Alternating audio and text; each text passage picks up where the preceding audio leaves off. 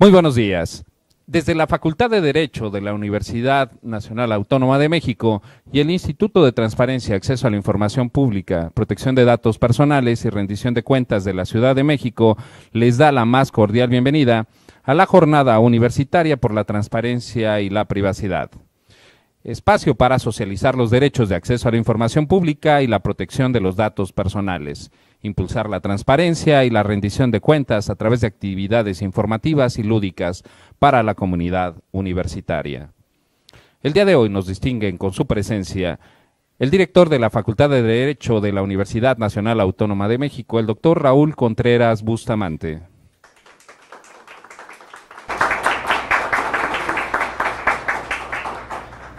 El comisionado presidente del Info Ciudad de México, el doctor Aristides Rodrigo Guerrero García.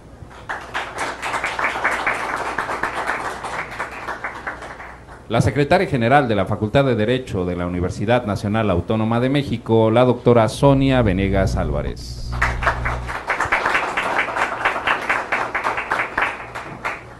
La comisionada ciudadana del Info Ciudad de México y coordinadora de la Comisión de Archivos y Gestión Documental del Sistema Nacional de Transparencia, la maestra Laura Lisette Enríquez Rodríguez, quien nos acompaña vía remota.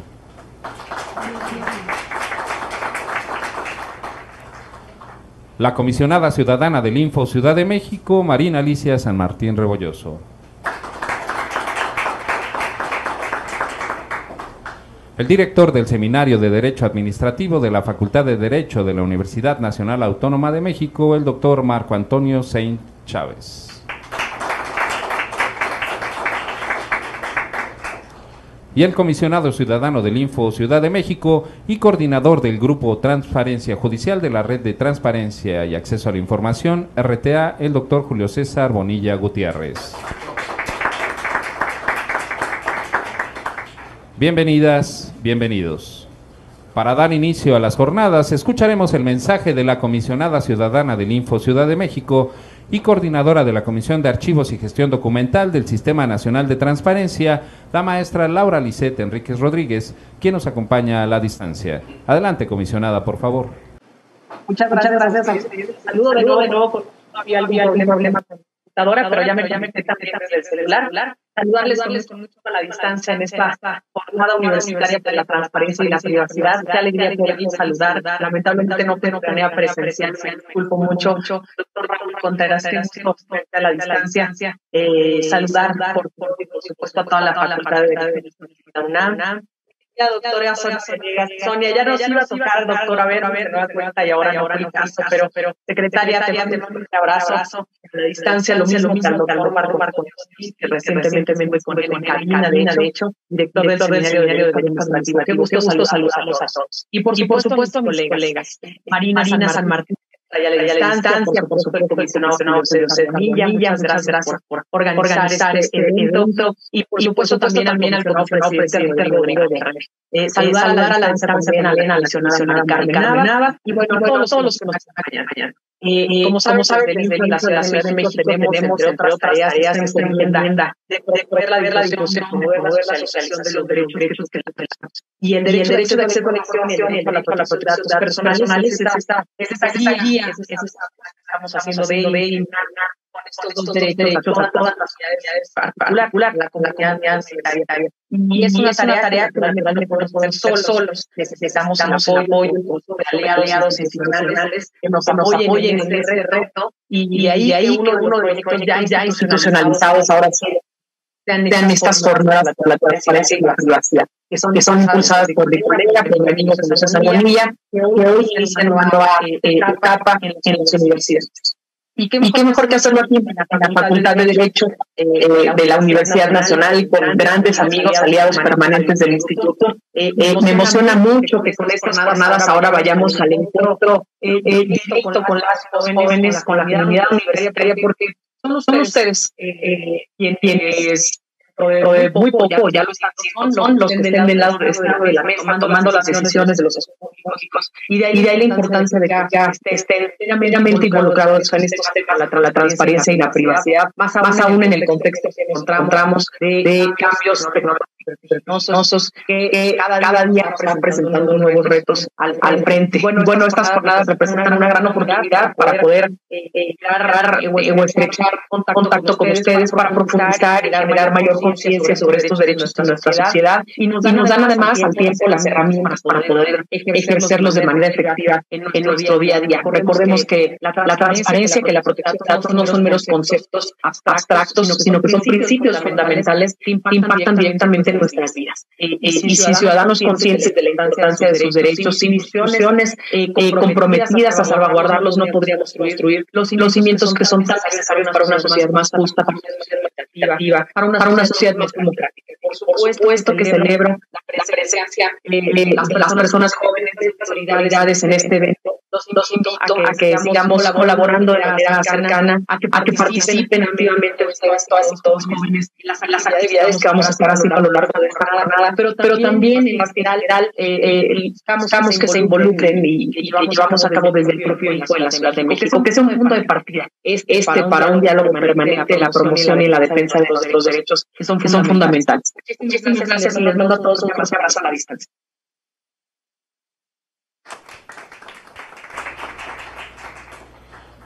Muchas gracias, comisionada, por su mensaje.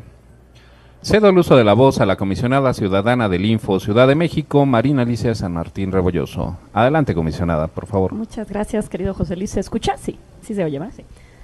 Doctor, qué gusto estar aquí junto a usted en la Facultad de Derecho, en mi casa, porque de aquí soy egresada. Mucho gusto también saludarlo, doctor, doctora, y por supuesto a mis colegas eh, Rodrigo, Julio, a Laura y a Carmen, que integramos este pleno del Info Ciudad de México. Y pues ya hace varios ayeres en esta universidad y en esta facultad, en este auditorio, Yusen donde supongo que aún se siguen haciendo estos concursos de oratoria, ¿no? Las semanas culturales, me trajo ahí buenos recuerdos haber visto el, el auditorio y pues muy, muy contentos de estar aquí, doctor. Gracias por la anfitrionía, gracias por siempre recibirnos y pues es un honor también estar en nuestra casa de estudios ahora eh, compartiendo la actividad profesional que estamos haciendo como abogadas, abogados, que tiene que ver con velar con dos derechos fundamentales, dos derechos llave, que es el acceso a la información y la protección de los datos personales.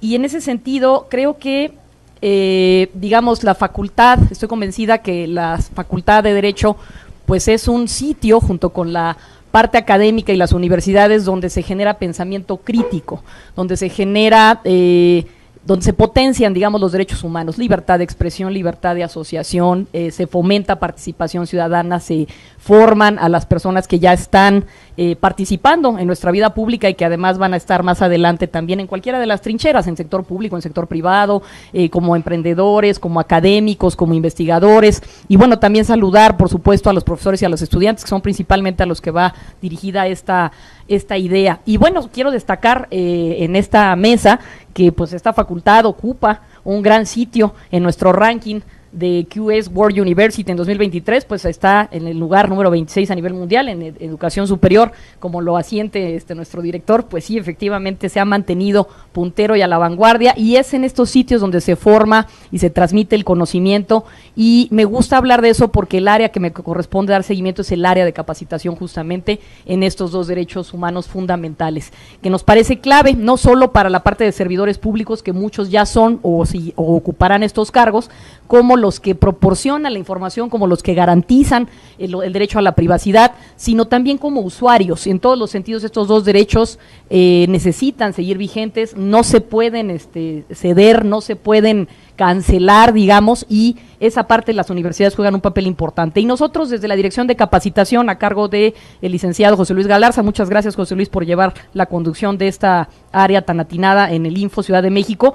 Quisiéramos compartirles, eh, eh, doctor, algunos de los proyectos que hemos hecho. El campus virtual, tenemos un campus virtual de aprendizaje, Cava Info, que tiene cursos eh, disponibles de manera sincrónica permanente durante, a la hora que quieran, los estudiantes pueden participar, cualquier profesor. Tenemos de la parte de acceso a la información, de datos personales también la parte que tiene que ver con archivos, ética pública muy importante y hacer solicitudes y recursos de revisión. Esta aula también hace cursos en tiempo real conectados vía plataforma de estas de internet, ¿no? O sea, hay un, hay un capacitador del otro lado, se inscriben, se baja la constancia, se baja la, la, digamos que se pasó el examen correspondiente y también ahí tenemos otros talleres ya especializados como prueba de daño, temas de clasificación, cómo hacer versiones públicas y hay unos tutoriales también, tanto digamos en una parte como para autoridades como para ciudadanía, que tienen que ver de cómo se presenta una solicitud de información y de estos también los hemos tenido en traducción de lenguas indígenas. hicimos unos manuales eh, del área de capacitación con el personal de capacitación que sirven para el instructor y para el alumno digamos, están en su versión de alumno y de instructor y de esos también son de los cursos introductorios de acceso y de datos, de archivos y de solicitudes y recursos de revisión. Y tenemos un muy modesto, no como nuestra biblioteca, en nuestra biblioteca central, centro de documentación, el CEDOC, donde hay un pequeño acervo sobre temas especializados con más de cerca de mil títulos ahí que se pueden consultar, que también queremos invitar a la comunidad universitaria, si nos permite, doctor, que puedan asistir al info y participar y, consultar eh, textos que también pueden encontrar ahí, que están a su disposición. Y simplemente eh, otra vez celebrar y reconocer el trabajo que se ha hecho en esta administración, en las dos este, periodos que le han correspondido, doctor, agradecerle siempre el espacio, la apertura, eh, por supuesto, estar muy orgullosos de ser universitarios y en particular de esta Facultad de Derecho de la UNAM y por recordar que Mandela nos decía que la educación siempre será el arma más poderosa para cambiar el mundo y las universidades son ejemplo de ello. Muchas gracias.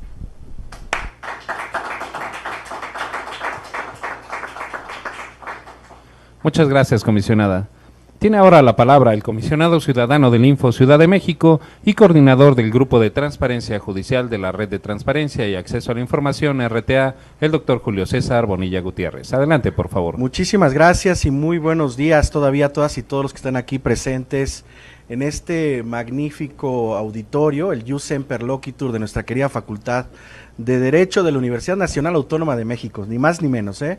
Y lo presumo así porque como me anticipó en el, eh, me anticiparon en los comentarios tanto Laura como Marina, comisionadas ciudadanas, eh, para el Info Ciudad de México hoy representa eh, una verdadera oportunidad de poner en contacto los derechos fundamentales que tutelamos, que garantizamos, que es el derecho de acceso a la información pública y el de la protección de los datos personales. En una de las no me cansaré de decirlo, de las instituciones de educación superior en derecho o en, la ciencia jurídica más importante del planeta, la número 26, la, una, la número uno en Iberoamérica. Eso, gracias, lo dije ayer y lo repito, no cansaré de decirlo, al liderazgo, al compromiso, a la pasión, a la inteligencia de nuestro querido director, el doctor Raúl Contreras Bustamantes. Al cabo de ocho años, esta facultad es esencial y materialmente diferente gracias a su labor eh, intensa, a su compromiso y a su pasión con los valores eh, universitarios. Gracias, querido doctor, por recibirnos una vez más al Info Ciudad de México, que además debo contarle, como le venía diciendo tras bambalinas con mi presidente, eh, por primera vez el Info Ciudad de México en 18 años, que cumple 18 años en, en marzo próximo ya, estamos también a punto de cumplir 18 años, la mayoría de edad, sesionamos por primera vez en la Universidad Nacional Autónoma de México, en esta gran gran universidad transformadora de realidades y contextos para toda la República. Gracias, doctor, por su, por su generosidad. A nuestra querida secretaria general, por supuesto, mi querida maestra, ayer lo dije, lo digo siempre, fue mi maestra en tercer semestre de la facultad y es un honor estar hoy con ella a su lado. Naturalmente a mi querido amigo Marco Antonio Sen Chávez, eh, coordinador del, Seminario de Derecho Administrativo y un gran aliado en materia de transparencia y privacidad, a las comisionadas del Pleno, Laura Listet, Mari Carmen Nava, naturalmente a Marina y a mi presidente, que como también se lo decía el presidente, al director, esta fue su idea original, que saliéramos de, la, del instituto y nos convirtiéramos en comisionadas y comisionados de territorio. Ya visitamos prácticamente las 16 alcaldías y en 2024, por el contexto político electoral, decidimos venir a las universidades.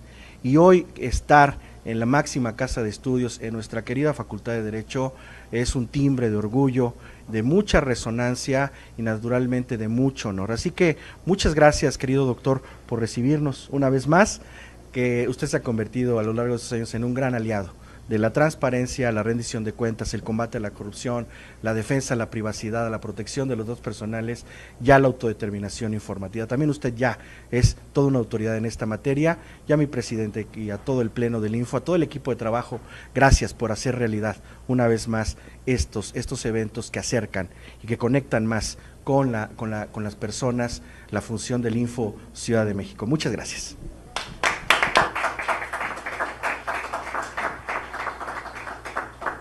Muchas gracias, comisionado, por su mensaje. Invitamos ahora al comisionado presidente del Info Ciudad de México, el doctor Aristides Rodrigo Guerrero García, haga uso de la voz. Adelante, comisionado, por favor. Muchísimas gracias. En el edificio de rectoría hay un mural de David Alfaro Siqueiros que se denomina la Universidad al Pueblo, el pueblo a la universidad.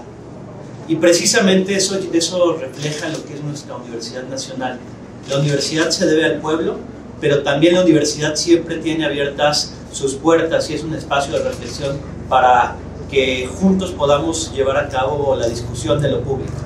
Y por eso el estar o llevar a cabo una sesión de lo público, en público, en este auditorio, en esta Universidad Nacional Autónoma de México, teniendo un costado las denominadas islas del lado izquierdo eh, del auditorio Yusemper y del lado derecho eh, los auditorios y la propia biblioteca, para nosotros es un privilegio. Es un privilegio estar en la Universidad Nacional como comisionados ciudadanos del Info de la Ciudad de México, precisamente para lograr acercar más el derecho de acceso a la información y la protección de datos personales. Pero además es un privilegio en lo personal. En lo personal porque me encuentro sentado al lado de quien fue mi profesor de Derecho Constitucional. Fue mi profesor de Derecho Constitucional y precisamente en los primeros semestres como estudiante pues nos mostraba la importancia de la Constitución, pero también el hacer valer la propia Constitución y materializar la Constitución, que sea un texto vivo, el propio texto constitucional.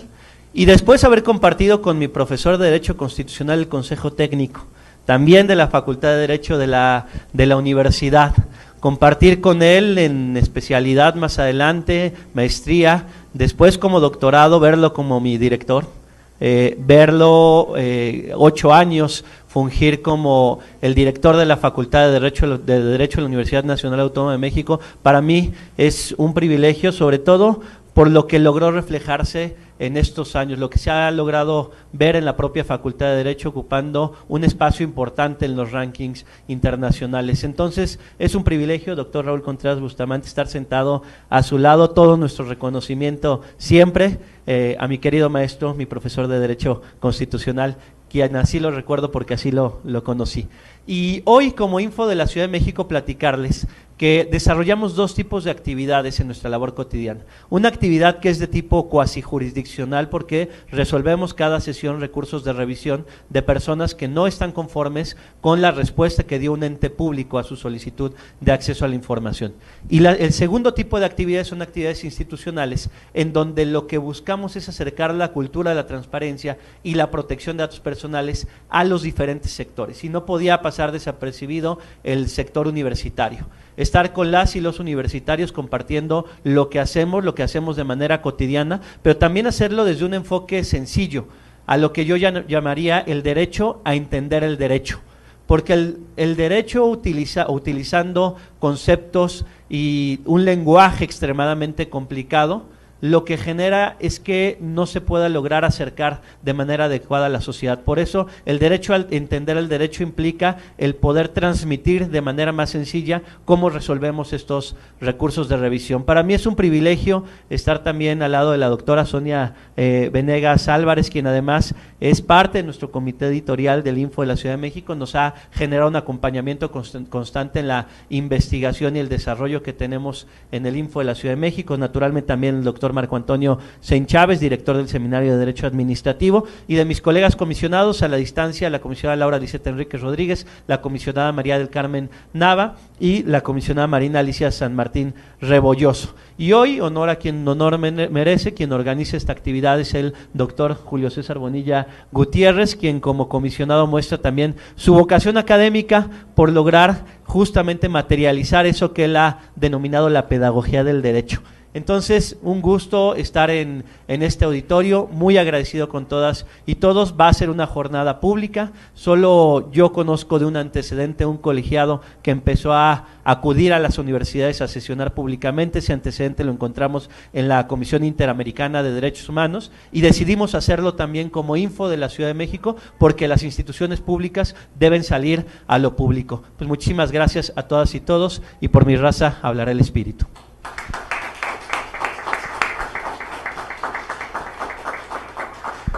Agradecemos su mensaje. A continuación cedo el uso de la voz al director de la Facultad de Derecho de la Universidad Nacional Autónoma de México, el doctor Raúl Contreras Bustamante. Adelante, por favor. Muchísimas gracias. La verdad es que para la Facultad de Derecho es un verdadero honor eh, ser los, eh, el anfitrión al Info de la Ciudad de México para que cumpla con este ejercicio ciudadano tan interesante que significa venir a sesionar fuera de las instalaciones y sobre todo venir a sesionar de manera pública a una universidad pública. Porque se cumple muy bien con lo que se ha dicho aquí por los comisionados que me han antecedido en el uso de la palabra, que los servidores públicos sean sensibles ante la ciudadanía y vengan a su encuentro y no esperen a que la ciudadanía vaya a verlos. Y venir a sesionar aquí a la Facultad de Derecho, pues además ayuda mucho a este objetivo fundamental que tiene esta casa de estudios, que es generar ciudadanía responsable. Aquí hemos dicho que primero enseñamos o vamos a enseñarle a los jóvenes a ser buenos ciudadanos y después buenos juristas y el hecho de que ustedes vengan a explicar, a que los vean sesionar, a que los oigan argumentar y a, tomar decisiones sobre dos derechos fundamentales, que es el acceso a la información y la protección de datos personales, pues nos ayuda mucho. Ahora que estaba recordando el señor presidente, de, comisionado presidente sobre las materias de derecho constitucional, pues estos dos eh, derechos llave, como han sido debidamente clasificados, derechos fundamentales, pues están en el entorno de lo que es eh, la doctrina del constitucionalismo. Nos gusta decirles aquí a los jóvenes que los derechos humanos no están concebidos ni tutelados para defender a los humanos de los venusinos ni de los marcianos, sino de los humanos con poder político. Y cuando nosotros hablamos de estos dos derechos, estamos hablando de la esencia del constitucionalismo, que es que se entienda que la soberanía es del pueblo y que los servidores públicos son mandatarios del pueblo y que no es al revés, que los ciudadanos somos, no somos súbditos y que los que están en el gobierno no nos gobiernan por derecho. A mí me gusta decir, voy a decir una cosa que a veces preocupa, los humanos los seres humanos cuando están en un cargo público no tienen derechos humanos como servidores públicos. Tienen competencias y obligaciones. Como personas sí, cuando se muevan en, el entorno eh, como parte de la sociedad, claro que tienen derechos humanos, pero en el ejercicio de su encargo solamente tienen competencias y obligaciones. Y una de esas competencias y una de esas obligaciones es la transparencia, el rendir cuentas a los ciudadanos que los eligieron o que están ahí por un mandato de la ley que ha sido aprobada de manera soberana y que tienen la obligación de informar a la ciudadanía porque precisamente están ejerciendo una función pública que les ha sido encomendada y que el acceso a la información es un derecho de los ciudadanos y es la obligación de los funcionarios el rendir cuentas. Y claro, la protección de datos personales, pues es una conquista, una conquista social. Y como conquista social ha costado mucho trabajo. Vale la pena que le digamos a quienes nos están viendo que tomemos en cuenta que somos la generación en la historia de la humanidad que más derechos ha tenido. Eso nos hace también tener muchas obligaciones. Pero finalmente estos derechos que hoy estamos tutelando, que hoy estamos difundiendo, no siempre los ha tenido la sociedad y tampoco hay la garantía de que los pueda tener siempre si no los cuidamos. Así que yo les doy la más cordial de las bienvenidas. Ayuda mucho que, tres de los de los comisionados que están en esta mesa hayan sido egresados de esta casa de estudio para que regresen a su alma mater.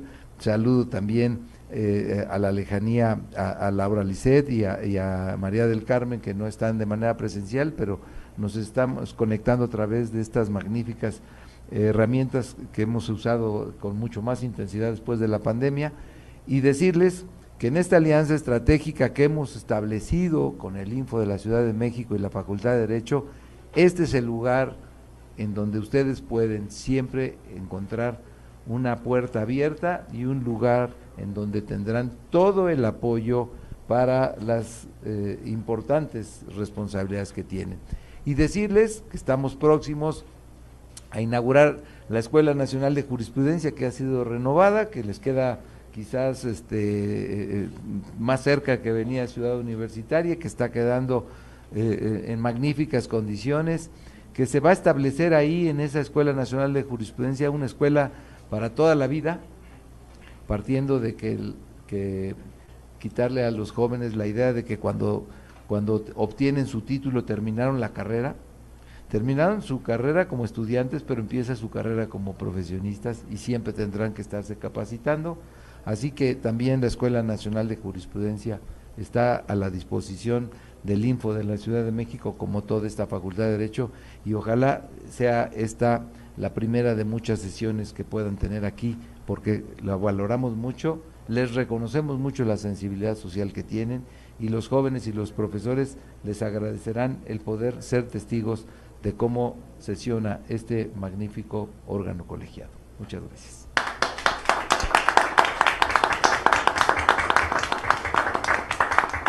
Agradecemos su mensaje. Invitamos a las y los integrantes del presidium a ponerse de pie. Muchas gracias. A continuación se hará entrega del reconocimiento Vinculación Universitaria 2024.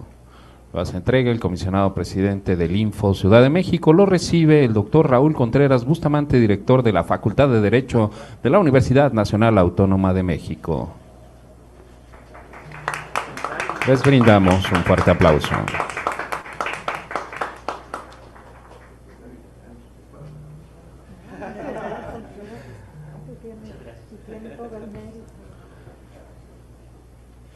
Se llevará a cabo la foto oficial.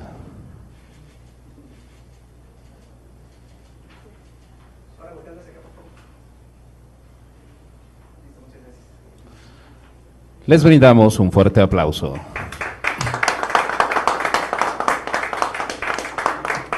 Muchas gracias.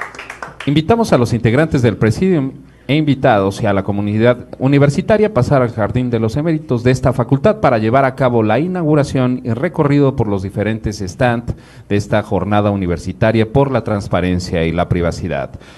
También les hacemos una cordial invitación para que nos acompañen en punto de las 12.30 horas a la séptima sesión ordinaria del Pleno del Info Ciudad de México, Pleno en tu universidad. Los esperamos.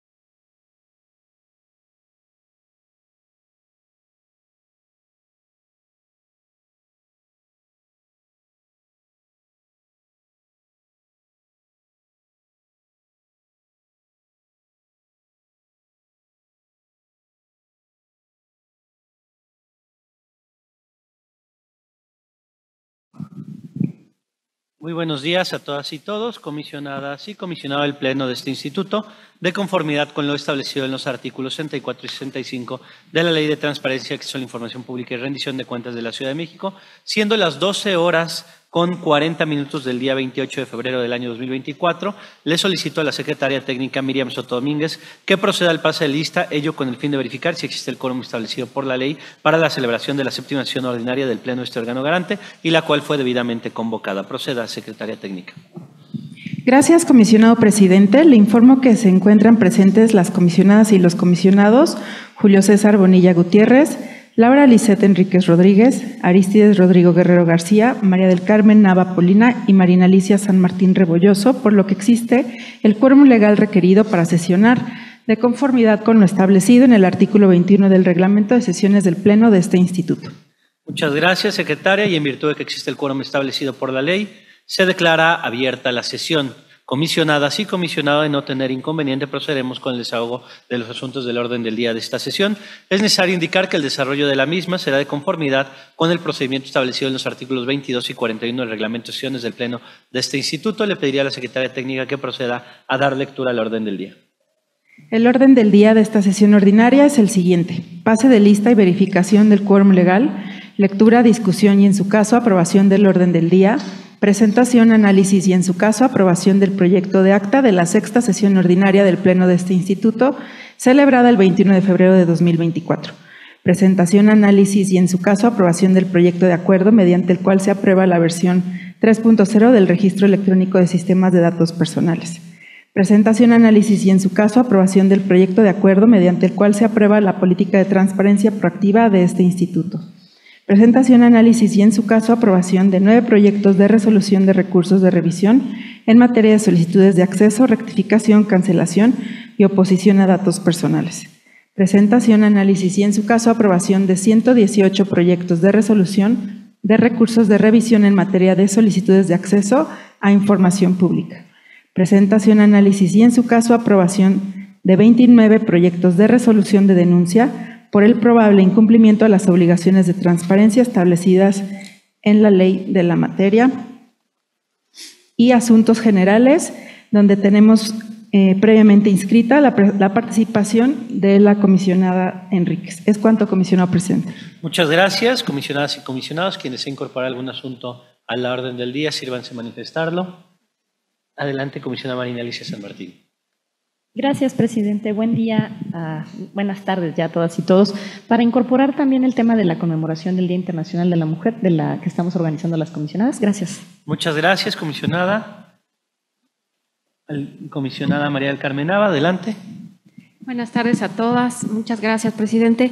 Para asuntos generales, me interesa hacer la entrega del reporte semanal número 6 eh, de trabajo del equipo Estado Abierto, con énfasis en la presentación del libro sobre Parlamento Abierto, así como eh, la entrega del reporte sobre apertura en programas y acciones sociales 2023 y em, justo contribuir y compartir sobre el IDATON, Mujeres y Economía de Cuidados, eh, y sobre el foro justo con más información, más voz, estrategias para romper brechas de género. Gracias.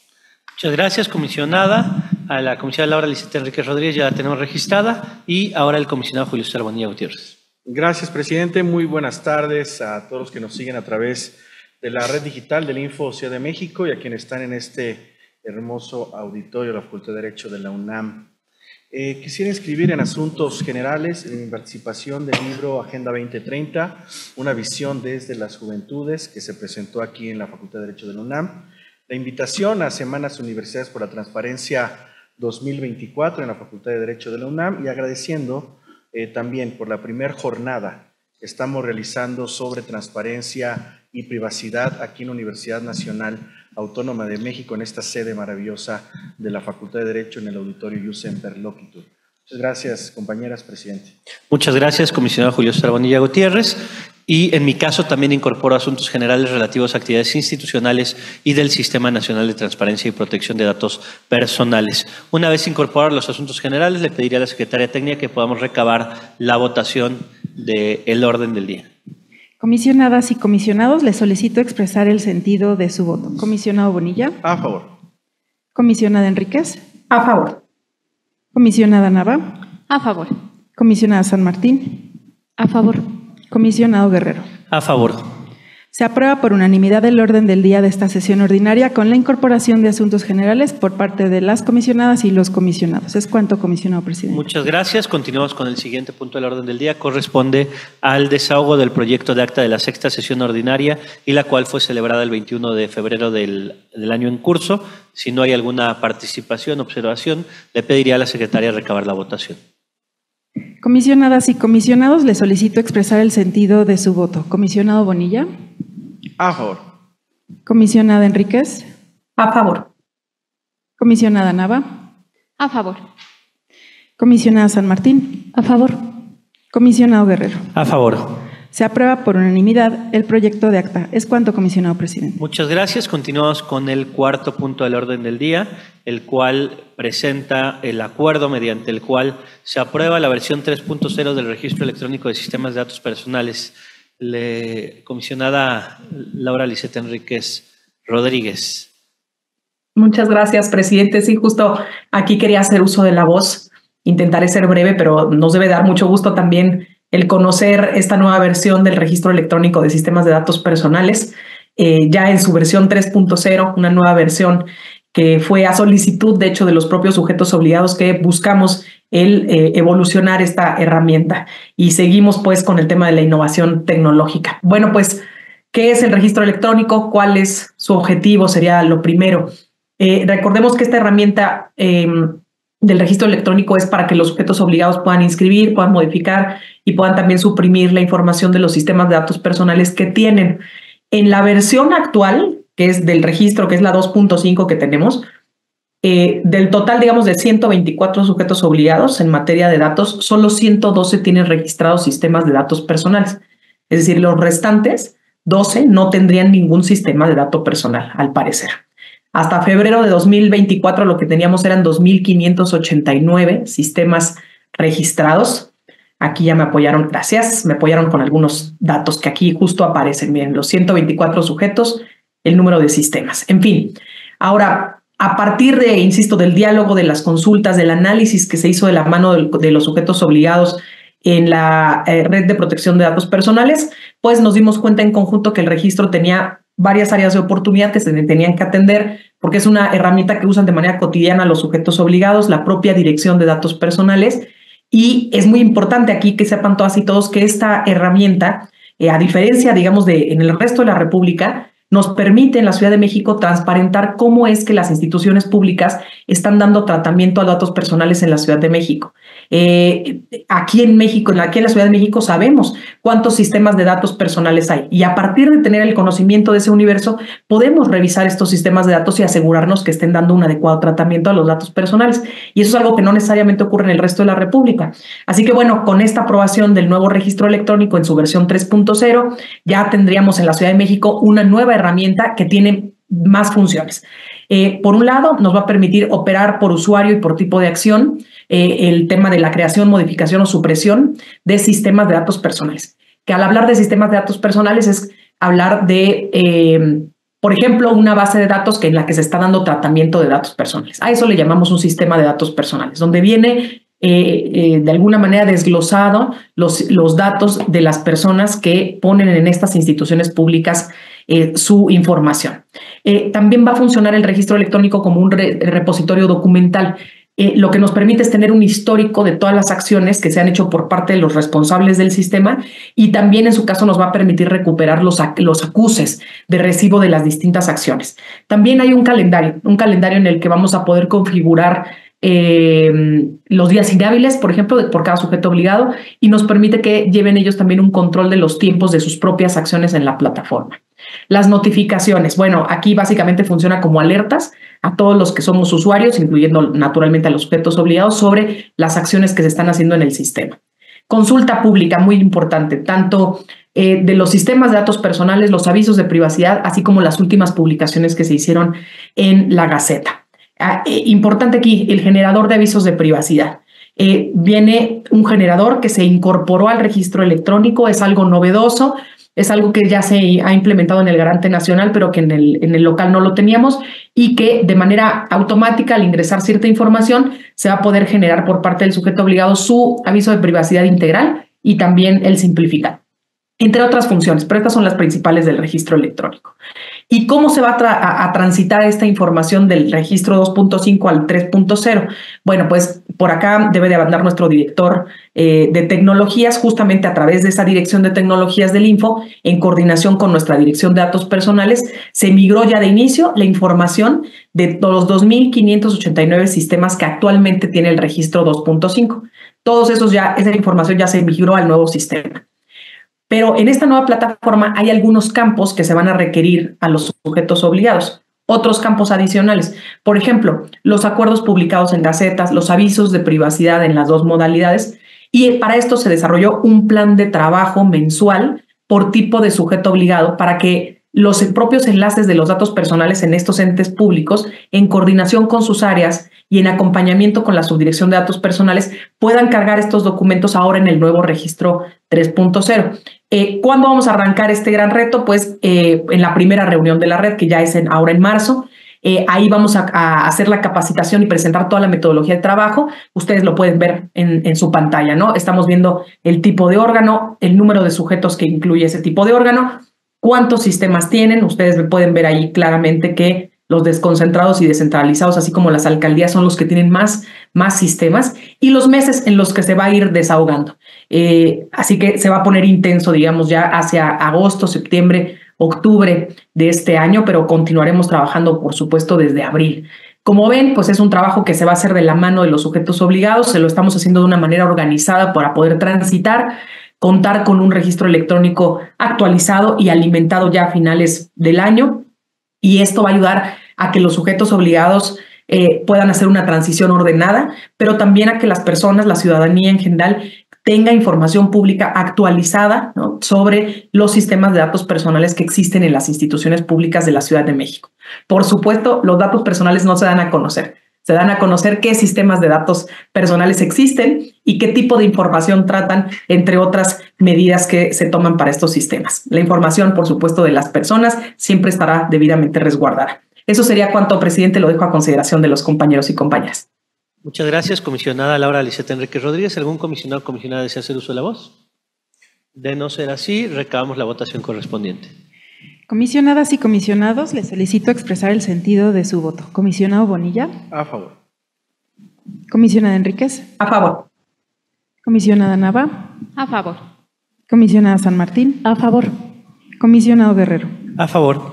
Se aprueba por unanimidad el acuerdo presentado. Es cuanto, comisionado presidente. Muchas gracias. Continuamos con el quinto punto del orden del día. Corresponde al acuerdo mediante el cual se aprueba la política de transparencia proactiva de este instituto. En este punto, ¿algún comisionado o comisionada desea hacer uso de la voz? Únicamente, ah, adelante, comisionado Julio Cervanilla.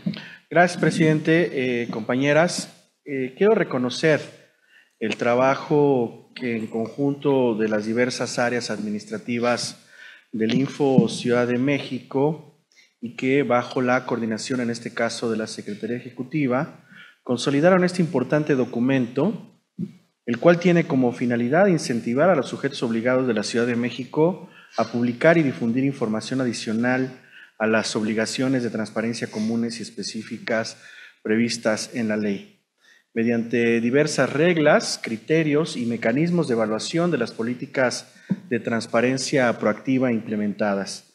Al respecto, podemos definir a la transparencia como aquel mecanismo y principal habilitador del ejercicio del derecho de acceso a la información y una cualidad que se aplica a los flujos de información que nos permite conocer, entender y evaluar las acciones que nos gobiernan. Existen eh, al menos tres tipos de transparencia. La reactiva, que sucede cuando se entrega información por parte de un sujeto obligado derivado de la solicitud de una persona o por determinación de autoridad competente.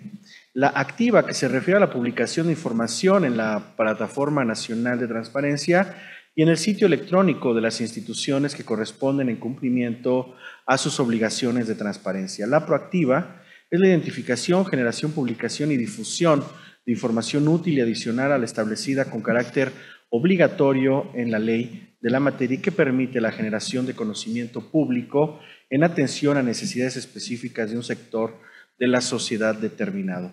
Por otro lado, el conocimiento público útil puede entenderse como aquel valor adicional que ofrece la información cuando ha sido organizada y presentada de manera amigable y sencilla con la finalidad de promover un mejor entendimiento y atención de problemas públicos, propiciar una toma de decisiones más informada y mejorar la calidad de vida de las personas.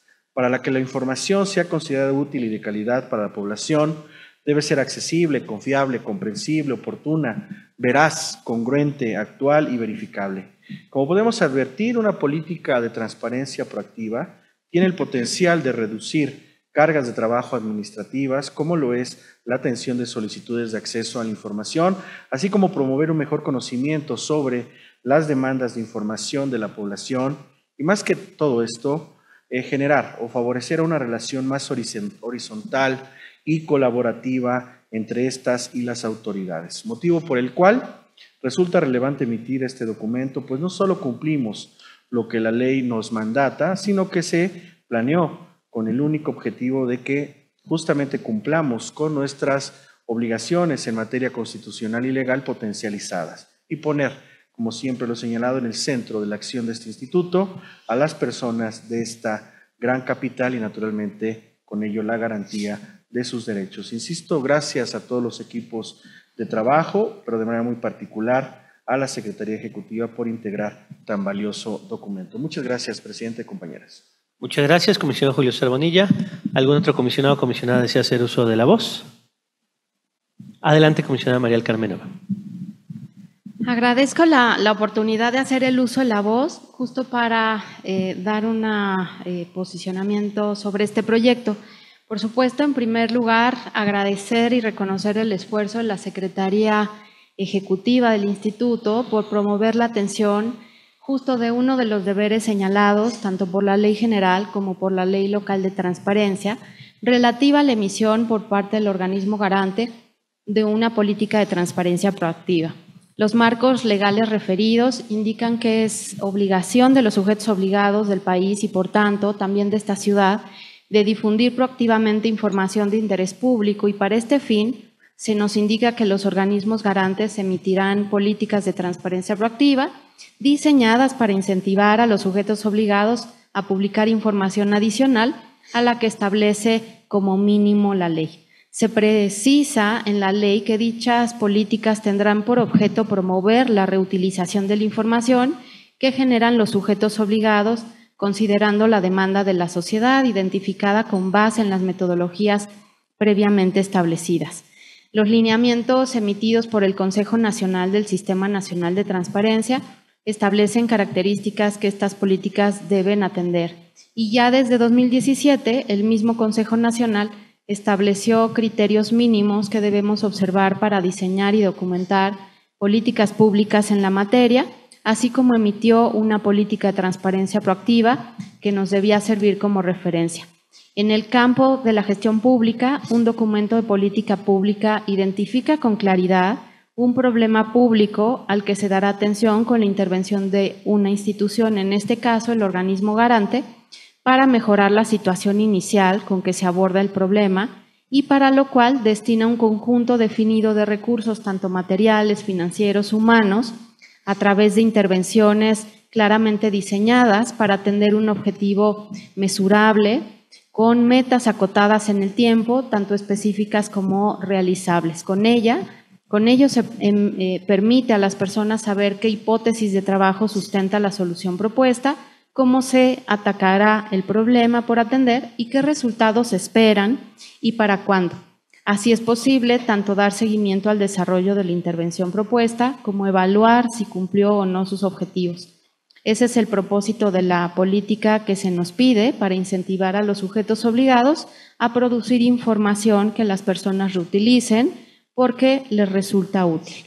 Desde que inició este proyecto en agosto del 2023, comentamos la necesidad de cubrir ese estándar.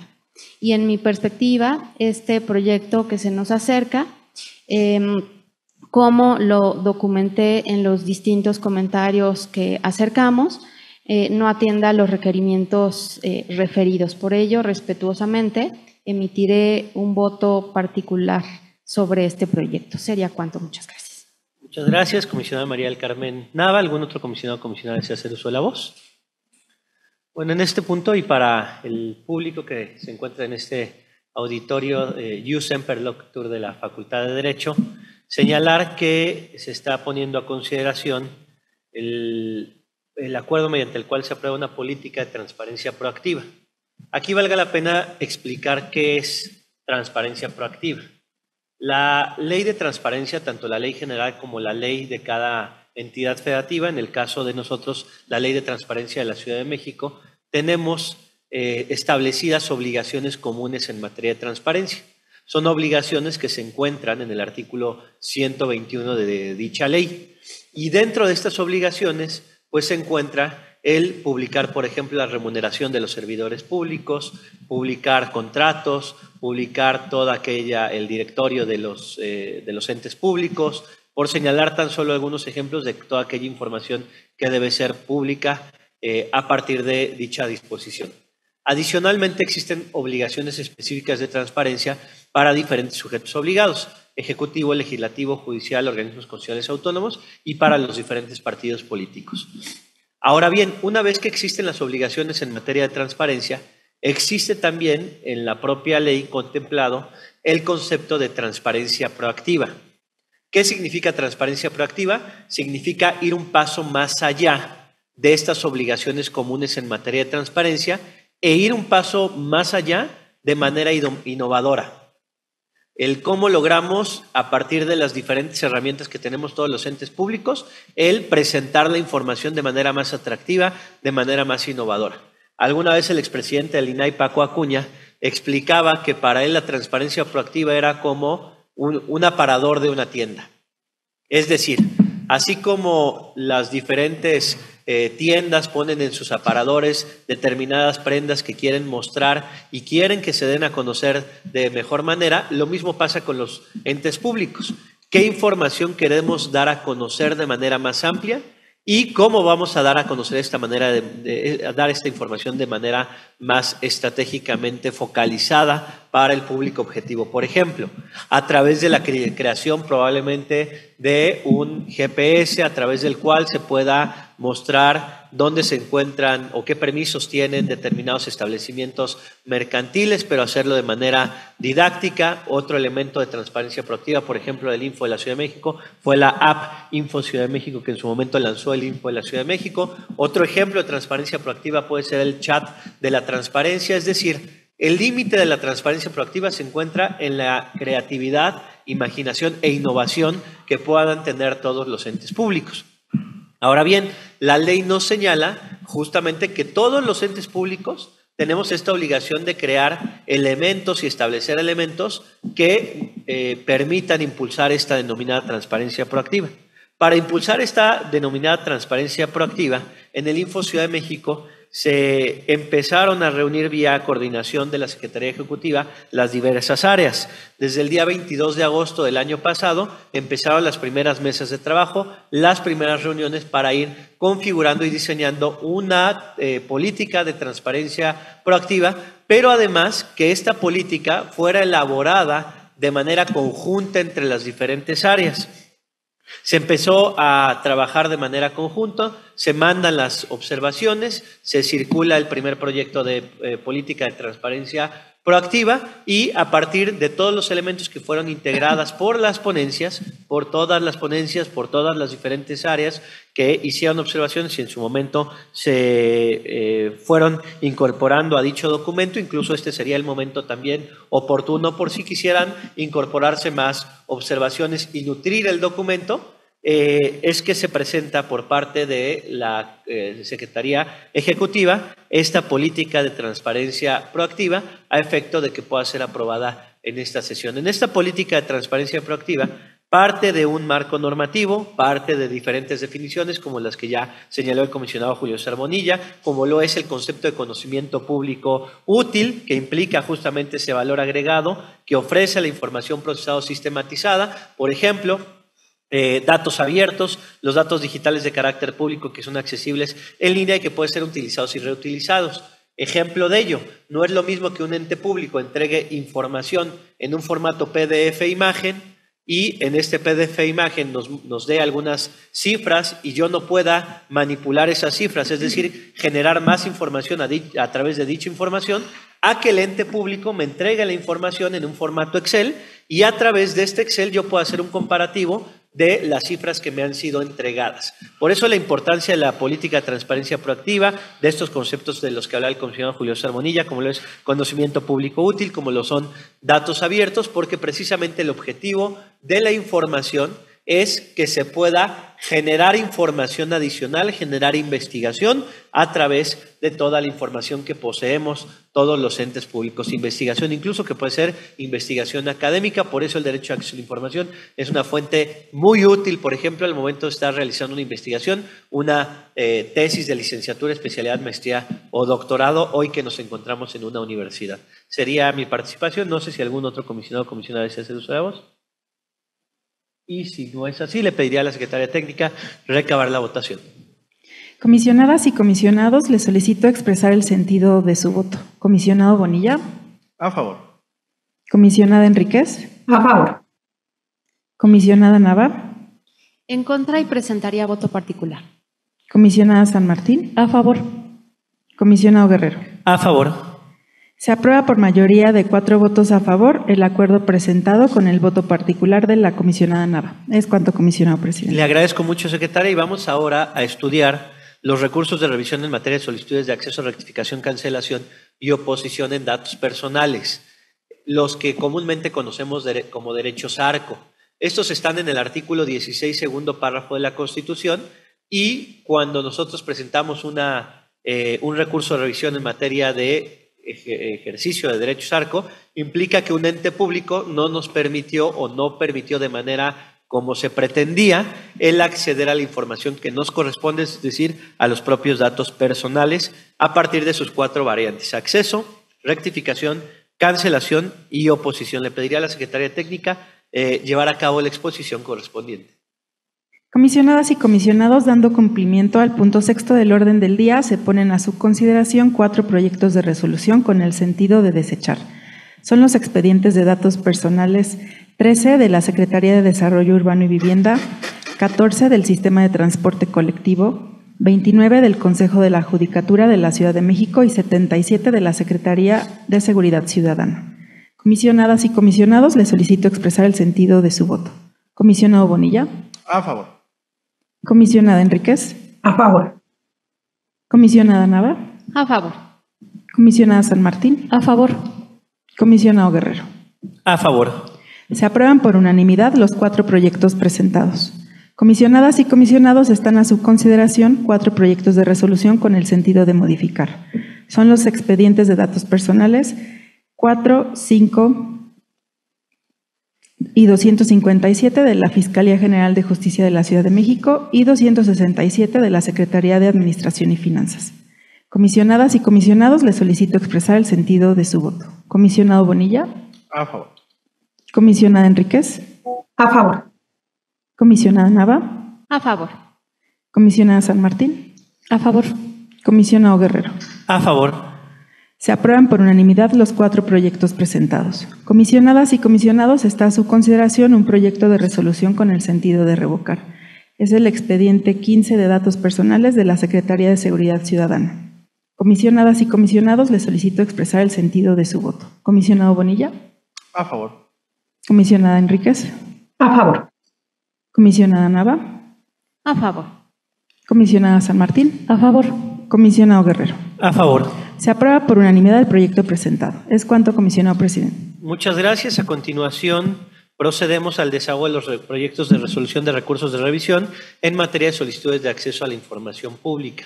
Cuando una persona eh, no está conforme con la respuesta que le da un ente público, es decir, presenta una solicitud de acceso a la información preguntando, por ejemplo, cuánto costó determinada obra pública o alguna información que le interese de un ente público. Cuando el ente público no entrega la información como la persona solicitante considera que se le debió haber sido entregada, tiene la posibilidad de interponer un recurso de revisión, el cual es un procedimiento que se sigue a manera de juicio y a través de ese procedimiento a manera de juicio, los comisionados que nos encontramos aquí presentes junto con la comisionada Laura Liceta Enrique Rodríguez, que se encuentra a la distancia, estudiamos en nuestras diferentes ponencias si eh, la información que entregó el ente público es conforme a lo solicitado y de esta manera es que emitimos los recursos de revisión. En este bloque vamos a resolver ese bloque de, de recursos de revisión y le pediría a la Secretaria Técnica que lleve a cabo la exposición correspondiente. Comisionadas y comisionados, en relación con el punto séptimo del orden del día, se ponen a su consideración 20 proyectos de resolución con el sentido de desechar son los expedientes 434 del Instituto de Estudios Superiores de la Ciudad de México, Rosario Castellanos, 472 de la Secretaría del Medio Ambiente, 483 y 743 de la Alcaldía Tláhuac, 493, 506, 549 y 563 de la Alcaldía Coyoacán, 516 de la Alcaldía Iztapalapa, 539 de la Alcaldía Cuauhtémoc, 555 de la Fiscalía General de Justicia de la Ciudad de México, 608 y 700 de la Alcaldía Iztacalco, 676 de la Red de Transporte Público de Pasajeros de la Ciudad de México, 678 de la Secretaría Ejecutiva del Sistema Anticorrupción de la Ciudad de México, 698 y 882 de la Secretaría de Seguridad Ciudadana, 742 de la Alcaldía Xochimilco, 748 de la Caja de Previsión de la Policía Preventiva de la Ciudad de México y 822 del Instituto para la Atención y Prevención de las Adicciones en la Ciudad de México. Comisionadas y comisionados, les solicito expresar el sentido de su voto. Comisionado Bonilla. A favor.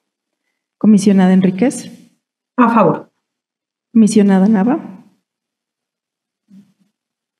Es el expediente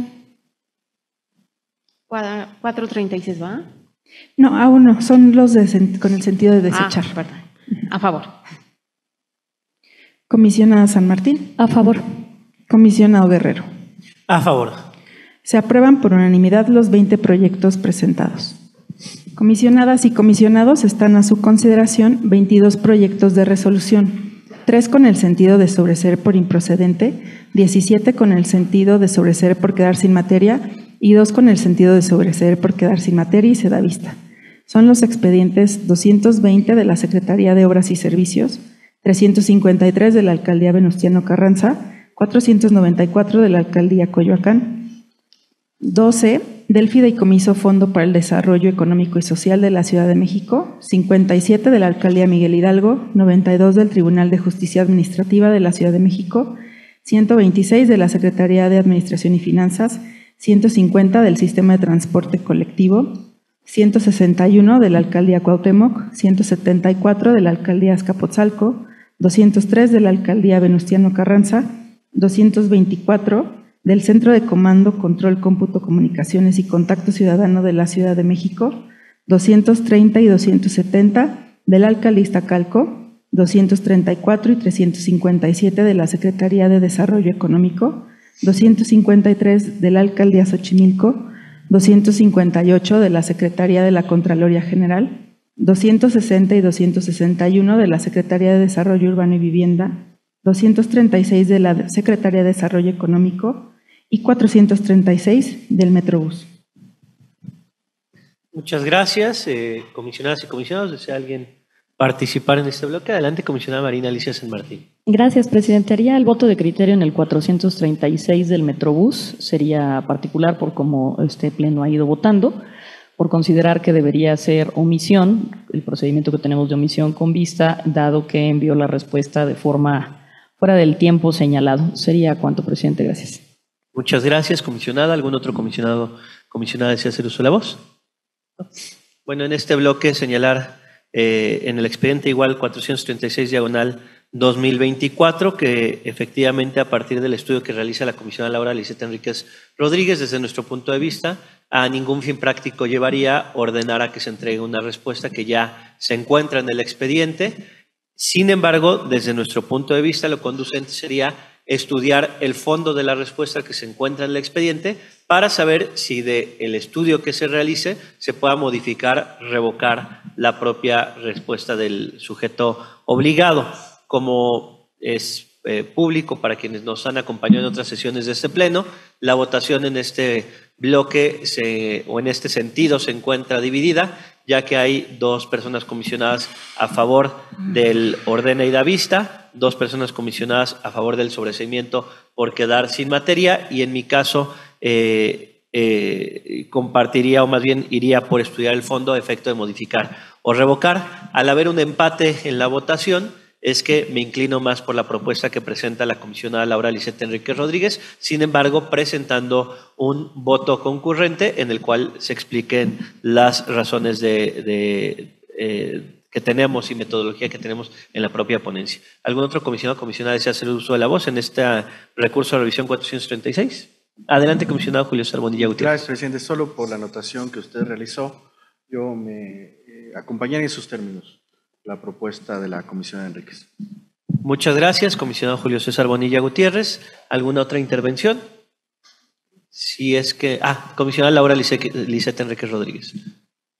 Muchas gracias, comisionado presidente. Bueno, al tratarse de un recurso que justamente como, como decía uno de mis colegas, pues van llegando estos recursos a las, al, al, info y se van mandando a cada una de nuestras cinco oficinas y en esas cinco oficinas es donde hacemos el análisis. Este que es el 436 diagonal 2024, que fue de una persona, digamos, que interpuso una, un recurso en contra de Metrobús, recayó en mi ponencia. Eh, eh, justamente yo lo que quería compartirles es que yo sostendría tal cual la propuesta que se hizo originalmente en el proyecto de resolución, que sería el sobreseimiento por quedar sin materia y será vista.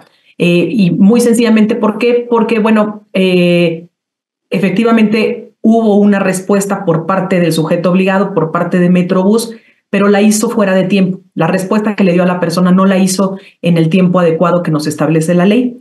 Y es por eso, y, bueno, bueno, lo hizo despuesito. Ya en la tramitación de este recurso, el sujeto obligado sí finalmente emite una respuesta y se la dio a conocer a la persona. Se la notificó a través del medio que de hecho la persona le pidió para ese efecto. Y luego entonces es que consideramos que no sería lo más apropiado el ordenar que nuevamente se emita una respuesta que ya obra en ese expediente y tal como lo marca la ley. Entonces nosotros nos iríamos por esa, eh, ese sobreseimiento, más bien tomaríamos esa decisión de que fuera un sobreseimiento y se diera la vista al órgano interno de control, porque efectivamente el Metrobús eh, no hizo bien en responder fuera de tiempo y esto tendría que ser observado ante el órgano interno de control del propio Metrobús. En fin, es un criterio que ciertamente ya hemos eh, referido los distintos comisionados y comisionadas en este pleno, eh, pero quise compartirles un poquito más sobre este tema para decirles las razones por las cuales me sostendría en ese sobreseimiento por quedar sin materia y da vista. Será cuanto, presidente. Muchas gracias. Muchas gracias, comisionada Laura Lisette Enrique Rodríguez. ¿Algún otro comisionado o comisionada desea hacer uso de la voz? Adelante, comisionada María del Carmen Nava. Gracias, presidente. Únicamente aprovechar y referir que en este recurso la materia de la información que solicitaron fue sobre el número de personas ciclistas que fueron arrolladas por unidades del Metrobús durante el 2020, 2021, 2022 y 2023, que fueran desglosadas las cifras. Eso en cuanto al contexto por el tipo de recurso, bueno, por el tipo de información y únicamente referir que el artículo 212 de la Ley de Transparencia de la Ciudad de México establece que tenemos nueve días hábiles para dar respuesta cuando nos requieren información, más siete días por ampliación, con ampliación. Eh, de tal manera que, eh, justo con criterios que hemos emitido en plenos anteriores, mi voto sería en contra, eh, con voto particular, justo por considerar que debía ser un ordena y dar vista y con ello eh, y, sumando los casos que tenemos hasta esta sesión serían 460 votos por criterios diferentes como ya lo explicó el comisionado presidente. Sería cuánto, gracias. Muchas gracias, comisionada Laura Lisette Enríquez Rodríguez. Bueno, como puede observar el, público, hay un Perdón, comisionada María del Carmen. Discúlpeme, comisionada. Eh, muchas gracias, comisionada María del Carmen Nava. Bueno, ahí, como ya se eh, llevó a cabo la exposición y se explicó, hay una diferencia en, los criterios que tenemos eh, en este colegiado. Y bueno, desde nuestro punto de vista, daría, o desde nuestro punto de vista, lo conducente sería entrar al estudio de fondo de la respuesta a efecto de revocar o modificar la respuesta del sujeto obligado, pero anticipo que al ver, este empate, me inclinaría más por la propuesta de mis colegas Laura Licet Enrique Rodríguez y Julio César Bonilla Gutiérrez. Adelante, secretaria, con la votación. Si les parece, primero tomaría la votación del 436. Comisionadas y comisionados, les solicito expresar el sentido de su voto. Comisionado Bonilla. A favor. Comisionada Enríquez. A favor. Comisionada Nava. En contra y presentaría voto particular. Comisionada San Martín. En contra, con voto particular. Comisionado Guerrero. A favor con un voto concurrente.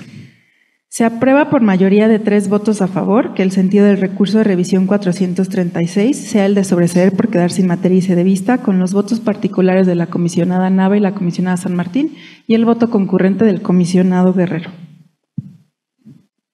Muchas gracias. Y ahora sí, en este bloque, ¿alguien más desea hacer uso de la voz?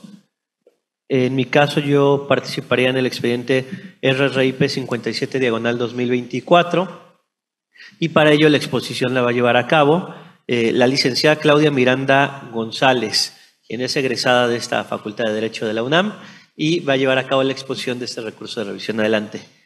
Buenos días, comisionadas, comisionado ciudadano, comisionado presidente del instituto y audiencia que nos acompaña. Doy cuenta con el, recurso de revisión InfoCDMX diagonal, diagonal 0057 diagonal 2024, interpuesto en contra de la respuesta a una solicitud de acceso a la información pública de la alcaldía Miguel Hidalgo en su calidad de sujeto obligado. La persona solicitante requirió a la alcaldía los planos de las poligonales descritas en el decreto por el que se declara área natural protegida y se expropia a favor del departamento del entonces Distrito Federal, el bosque de Chapultepec. En respuesta, el sujeto obligado señaló ser incompetente y remitió a la Secretaría de Medio Ambiente y a la Secretaría de Desarrollo Urbano y Vivienda. En consecuencia, la persona solicitante se inconformó al considerar que, correspondía a la alcaldía entregar dicha información. Del estudio del, expediente se concluyó, por un lado, que la materia del recurso de revisión se relaciona con el acceso a la información ambiental, por lo que le es aplicable el marco jurídico internacional en la materia, como lo es el Acuerdo Regional sobre Acceso a la Información, a la Participación Pública y a la Justicia de Asuntos Ambientales o Acuerdo de Escazú. Y por otro, si bien la alcaldía no es competente para atender la solicitud de información, por lo que resultaba adecuada su remisión a las Secretarías de Medio Ambiente y a la Secretaría de Desarrollo Urbano y Vivienda, en respuesta inicial no habían fundado ni motivado adecuadamente las competencias de manera clara. Es decir, que es hasta la respuesta complementaria que el sujeto obligado indicó a la persona solicitante la normatividad con la que se acreditó la competencia de las secretarías mencionadas ya que a la Secretaría de Medio Ambiente le corresponde proponer la creación de áreas de valor ambiental, naturales protegidas y comunitarias de conservación ecológica. Cuenta con atribuciones de regulación, vigilancia y administración, así como con unidades administrativas específicas del bosque de Chapultepec, como dirección ejecutiva, subdirección de proyectos y subdirección técnica y a la Secretaría de Desarrollo Urbano y Vivienda cuenta con la Dirección General de Reordenación Urbana y Protección Ecológica, razones por las cuales se propone sobreseer el recurso de revisión por haber quedado sin materia, toda vez que se proporcionó una respuesta adecuada a la solicitud y atiende indirectamente las razones de inconformidad manifestadas por la persona recurrente. Es cuanto, comisionadas y comisionados. Muchas gracias. En este recurso de revisión están solicitando el decreto por el cual se declara área, área natural protegida y se lleva a cabo la expropiación del bosque de Chapultepec eh, a favor del entonces Departamento del Distrito Federal. Y en este caso en concreto, el eh, sujeto obligado declara ser incompetente y remite la solicitud a la Secretaría del Medio Ambiente y la Secretaría de Desarrollo eh, Urbano. al llevar a cabo justamente el estudio en el recurso de revisión. En primer lugar, aplicamos el denominado acuerdo de Escazú. El acuerdo de Escazú es el acuerdo eh, relativo al derecho de acceso a información vinculado con el medio ambiente. Y por otro lado, se determinó que si bien la alcaldía no es competente para atender la solicitud de información, por lo que resulta que haya sido adecuada la remisión de la solicitud a los otros sujetos obligados, en respuesta complementaria funda y motiva adecuadamente la competencia de otras entidades. Es decir, en un primer momento no había fundado y motivado de manera adecuada, en un posterior momento y una respuesta complementaria lo hace, y es el motivo por el cual se sobresee por quedar sin materia este recurso de eh, revisión y corresponde a la Secretaría del Medio Ambiente proponer la creación de áreas de valor ambiental, naturales, protegidas y comunitarias de conservación ecológica con atribuciones de regulación, vigilancia y administración. Y por otro lado, la Secretaría de Desarrollo Urbano y Vivienda cuenta con la Dirección General de Reordenación Urbana y Protección eh, Ecológica. Y bueno, este asunto consideramos es relevante porque se está solicitando el decreto por el cual se declara área natural protegida eh, y se lleva a cabo la expropiación a favor del Departamento del entonces Distrito Federal del bosque de Chapultepec. Sería la exposición correspondiente y le pediría a la secretaria llevar a cabo la votación. Gracias, comisionado presidente. Procederé a tomar la votación de los 21 proyectos de resolución restantes, por lo que le solicito expresar el sentido de su voto. Comisionado Bonilla. A favor. Comisionada Enríquez. A favor. Comisionada Nava. A favor. Comisionada San Martín. A favor. Comisionado Guerrero. A favor. Se aprueban por unanimidad los 21 proyectos presentados. Comisionadas y comisionados están a su consideración 13 proyectos de resolución. 11 con el sentido de confirmar y 2 con el sentido de confirmar y sobreseer lo relativo a los requerimientos novedosos.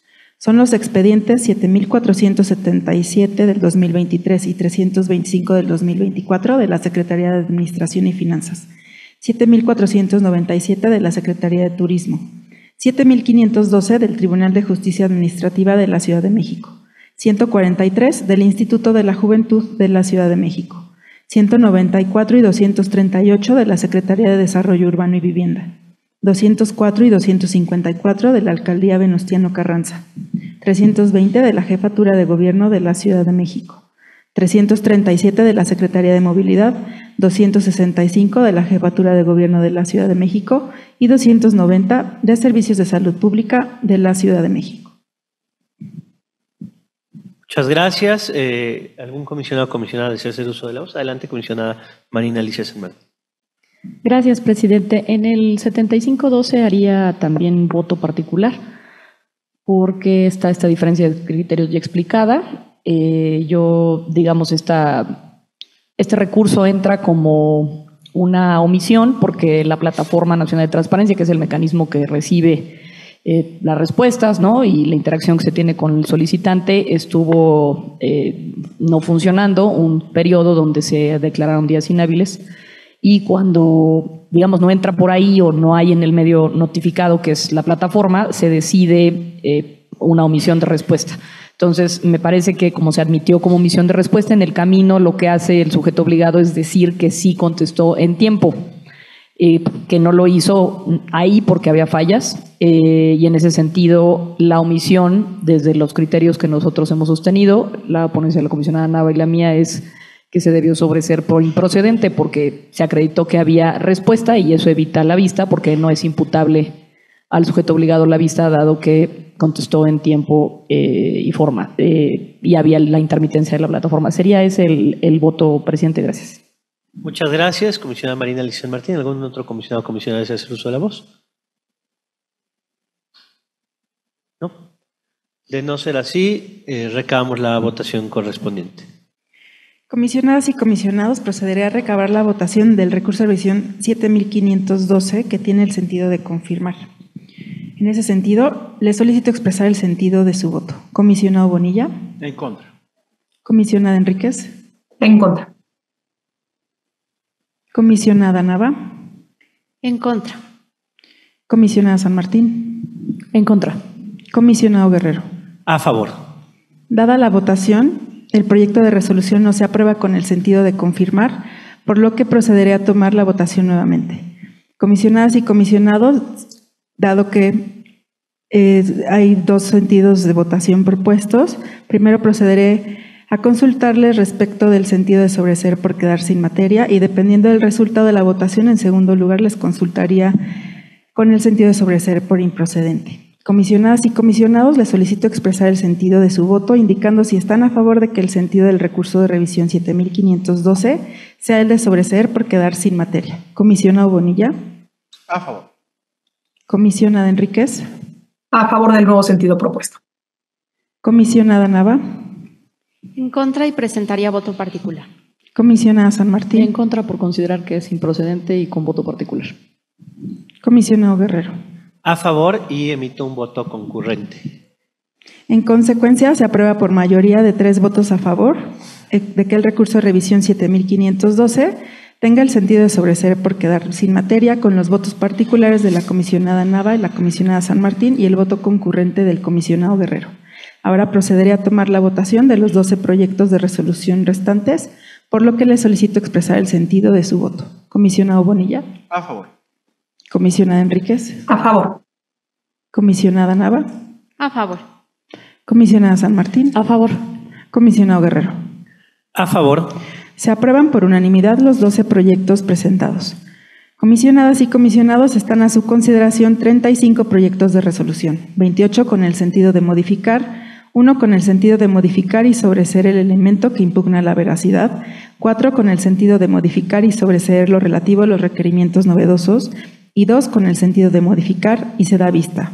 Son los expedientes 1 de la Secretaría de Desarrollo Urbano y Vivienda, 41 y 127 de la Secretaría de Administración y Finanzas, 67 de la Comisión para la Reconstrucción de la Ciudad de México, 115 y 135 de la Secretaría del Medio Ambiente, 119 del Heroico Cuerpo de Bomberos de la Ciudad de México, 151 del Fideicomiso para la Reconstrucción de la Ciudad de México, 155 y 522 del Alcalista Palapa, 159 y 245 del Instituto de las Personas con Discapacidad de la Ciudad de México, 173 de la Alcaldía Benito Juárez, 184 de la Secretaría de Cultura, 195 de la Alcaldía Tlalpan, 196, 327 y 210 del Sistema de Transporte Colectivo, 211 de la Alcaldía Álvaro Obregón, 219 de la Secretaría de Obras y Servicios, 249 de la Alcaldía Cuauhtémoc, 250 de la Policía Auxiliar,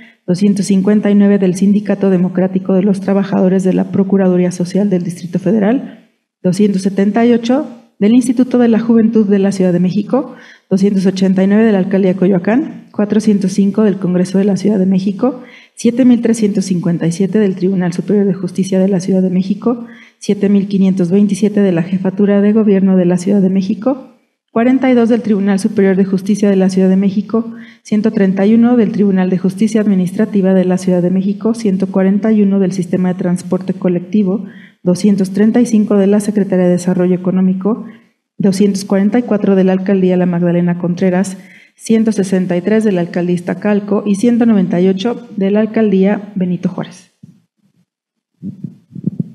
Muchas gracias. ¿Algún comisionado o comisionada? Adelante, comisionada Marina Alicia Martínez, ¿cierto? Gracias, presidente, por el espacio. Sí, aquí quisiera exponer un caso.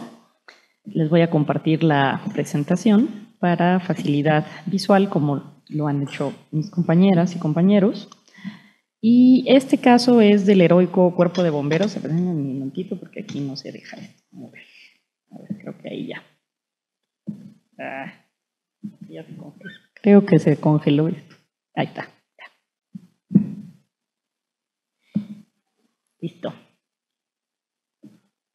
Este caso es el 119 de 2024 y lo que hace la persona es solicitar 11 eh, requerimientos que tienen que ver con una estación de bomberos en particular que está en la alcaldía Cuauhtémoc y entre esos eh, documentos que pide o, o, puntos a solicitar es las atenciones que se han prestado, lo quiere desglosado por año y por tipo, si han sido los bomberos no solamente apagan este, incendios, sino que también hacen otras cosas, atienden fugas, accidentes, algunas eh, situaciones de suicidio también. Número, título o descripción de los cursos de capacitación y el personal que ha participado en ellos. Entonces, lo que hace el sujeto obligado es, el caso del heroico cuerpo de bomberos, es proporcionar una lista con los servicios que se, se dieron desde 2006 a 2023 eh, con el desglose requerido, pero no señala eh, una atención específicamente de los suicidios y la parte de capacitación del equipo laboral, pues decía que eh, mandaba las constancias, pero no anexa la respuesta a las mismas. Entonces, estamos modificando, porque se queja de que está incompleta la información, dado que no viene toda puesta.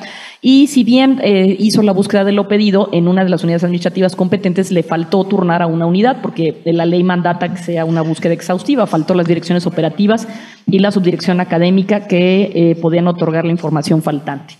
Entonces, en este caso, como les decía, proporcionó una parte, pero no se pronunció del todo y también no adjuntó las constancias y según eh, la revisión normativa que hicimos del caso eh, por parte de la ponencia, pues se observa que hay dos eh, direcciones adicionales que son las que pueden atender. En la ley de transparencia, el sujeto obligado pues tiene que turnar a todas las áreas internas, el solicitante simplemente manda la información y ya en función de competencias es que considera que pueden o no atender y por eso estamos modificando. Pero la idea de traerle era un poco por la labor que hacen, este recurso era por la labor que hacen los bomberos. La verdad, para que tengan ahí una idea de cuánto gana un bombero este, mensualmente, pues eh, gana, me parece muy poquito para la labor que hace, 8 mil o 10 mil pesos, eh, eso es lo que recibe. Y en la Ciudad de México hay una serie de subestaciones, 17 estaciones y 5 subestaciones. Las alcaldías Miguel Hidalgo e Iztapalapa son las que disponen con dos sedes en su demarcación, son las que tienen dos. En esta capital, eh, la cantidad de trabajadores en esta área son 2.147 y de esos eh, solamente 208 somos, bueno, yo no soy bombero, pero serían mujeres, pues. Los bomberos no se dedican exclusivamente a minorar temas de fuego, sino también hacen otro tipo de apoyos. Por ejemplo, ayudan a controlar cuando hay algún tema de las abejas, ¿no? Que están ahí sueltas, los bomberos ayudan con siniestros que tienen que ver con agua y aire, con rescate también de mascotas en algunos domicilios, volcaduras, fugas de agua y también auxilios en choques automovilísticos y otro tipo de labores. Asisten, eh, esta parte que es la que pregunta la, la, persona, en riesgos de suicidio también, cuando hay una crisis de, de, este, de este tipo, también los bomberos pueden participar en inundaciones, en encharcamientos en fin, cuando hay algunos cables sueltos, apoyan en mucho personas incluso no este, que no están localizadas, exhumaciones, en fin, brindan una serie de servicios también, en particular que es la que más conocemos, para prevenir riesgos de incendios, para atender incendios y fugas de gas.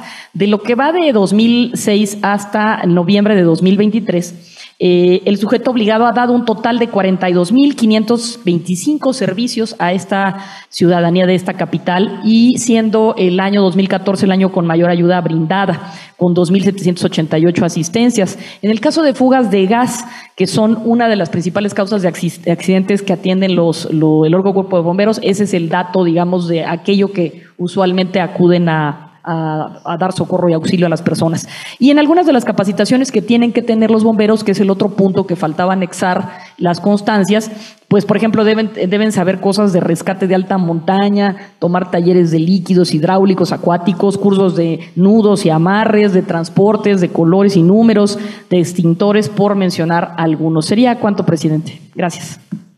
Muchas gracias, comisionada Marina Alicia Martín. ¿Algún otro comisionado comisionada desea hacer uso de la voz? Adelante, comisionado Julio Sarbonilla Gutiérrez. Gracias, presidente, eh, compañeras comisionadas. En este bloque de expedientes y con fundamento en el artículo 31 del reglamento de sesiones del Pleno de este instituto y de no tener inconveniente, eh, pediría ceder el uso de la voz a Gerardo Cortés para que dé cuenta del expediente 245 diagonal 2024, por lo que le pediría proceder. Adelante, Jerry, por favor. Muy buenas tardes a todos y todos. Con su autorización, comisionado presidente, comisionadas, comisionado, doy cuenta del recurso de revisión identificado con la clave alfanumérica infocdmx rr.ip.245 diagonal 2024, interpuesto en contra del Instituto de las Personas con Discapacidad de la Ciudad de México. Al ejercer su derecho de acceso a la información, la parte recurrente requirió el estudio de evaluación de accesibilidad a que se refiere la fracción primera del artículo 20 de la Ley de Accesibilidad para la Ciudad de México, así como las recomendaciones y diagnósticos en materia de accesibilidad física, entorno urbano, en la información y las comunicaciones, incluidos los sistemas y las tecnologías de la información y las comunicaciones a los entes públicos y privados.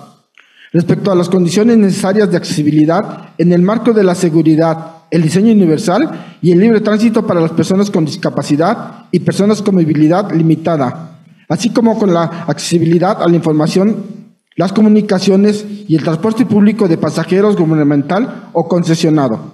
En respuesta, el sujeto obligado, a través de la jefatura de unidad departamental de Asesoría en Accesibilidad informó que realiza diagnósticos de accesibilidad con fundamento en el artículo 9, accesibilidad de la Convención sobre los Derechos de las Personas con Discapacidad, y que del 2019 al 2023 ha realizado un total de 203 diagnósticos en materia de accesibilidad. Asimismo, remitió la solicitud ante el Sistema para el Desarrollo Integral de la Familia de la Ciudad de México. Inconforme con la respuesta, la parte recurrente le impugnó señalando que el sujeto obligado no informó si detenta el estudio de evaluación de accesibilidad, aunado a que no le otorgó el acceso a los 203 diagnósticos en materia de accesibilidad que realizó.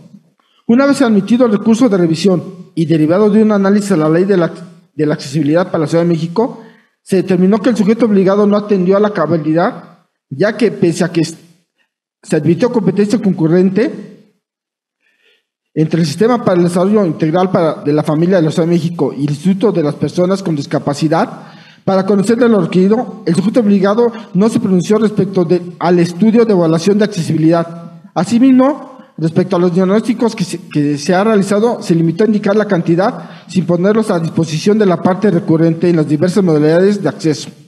Es así como, de conformidad con lo descrito, se concluyó que el sujeto obligado no atendió la solicitud de forma completa, motivo por el cual se propone modificar la respuesta del sujeto obligado. Es la cuenta, comisionado presidente, comisionadas, comisionado. Gracias. Muchas gracias, muchas gracias, Jerry. En el recurso de revisión del que se acaba de dar cuenta, se propone modificar la respuesta del sujeto obligado, ya que no brindó una atención exhaustiva a la solicitud relacionada con el estudio de la evaluación de accesibilidad previsto en la fracción primera, artículo 20 de la Ley de Accesibilidad para la Ciudad de México.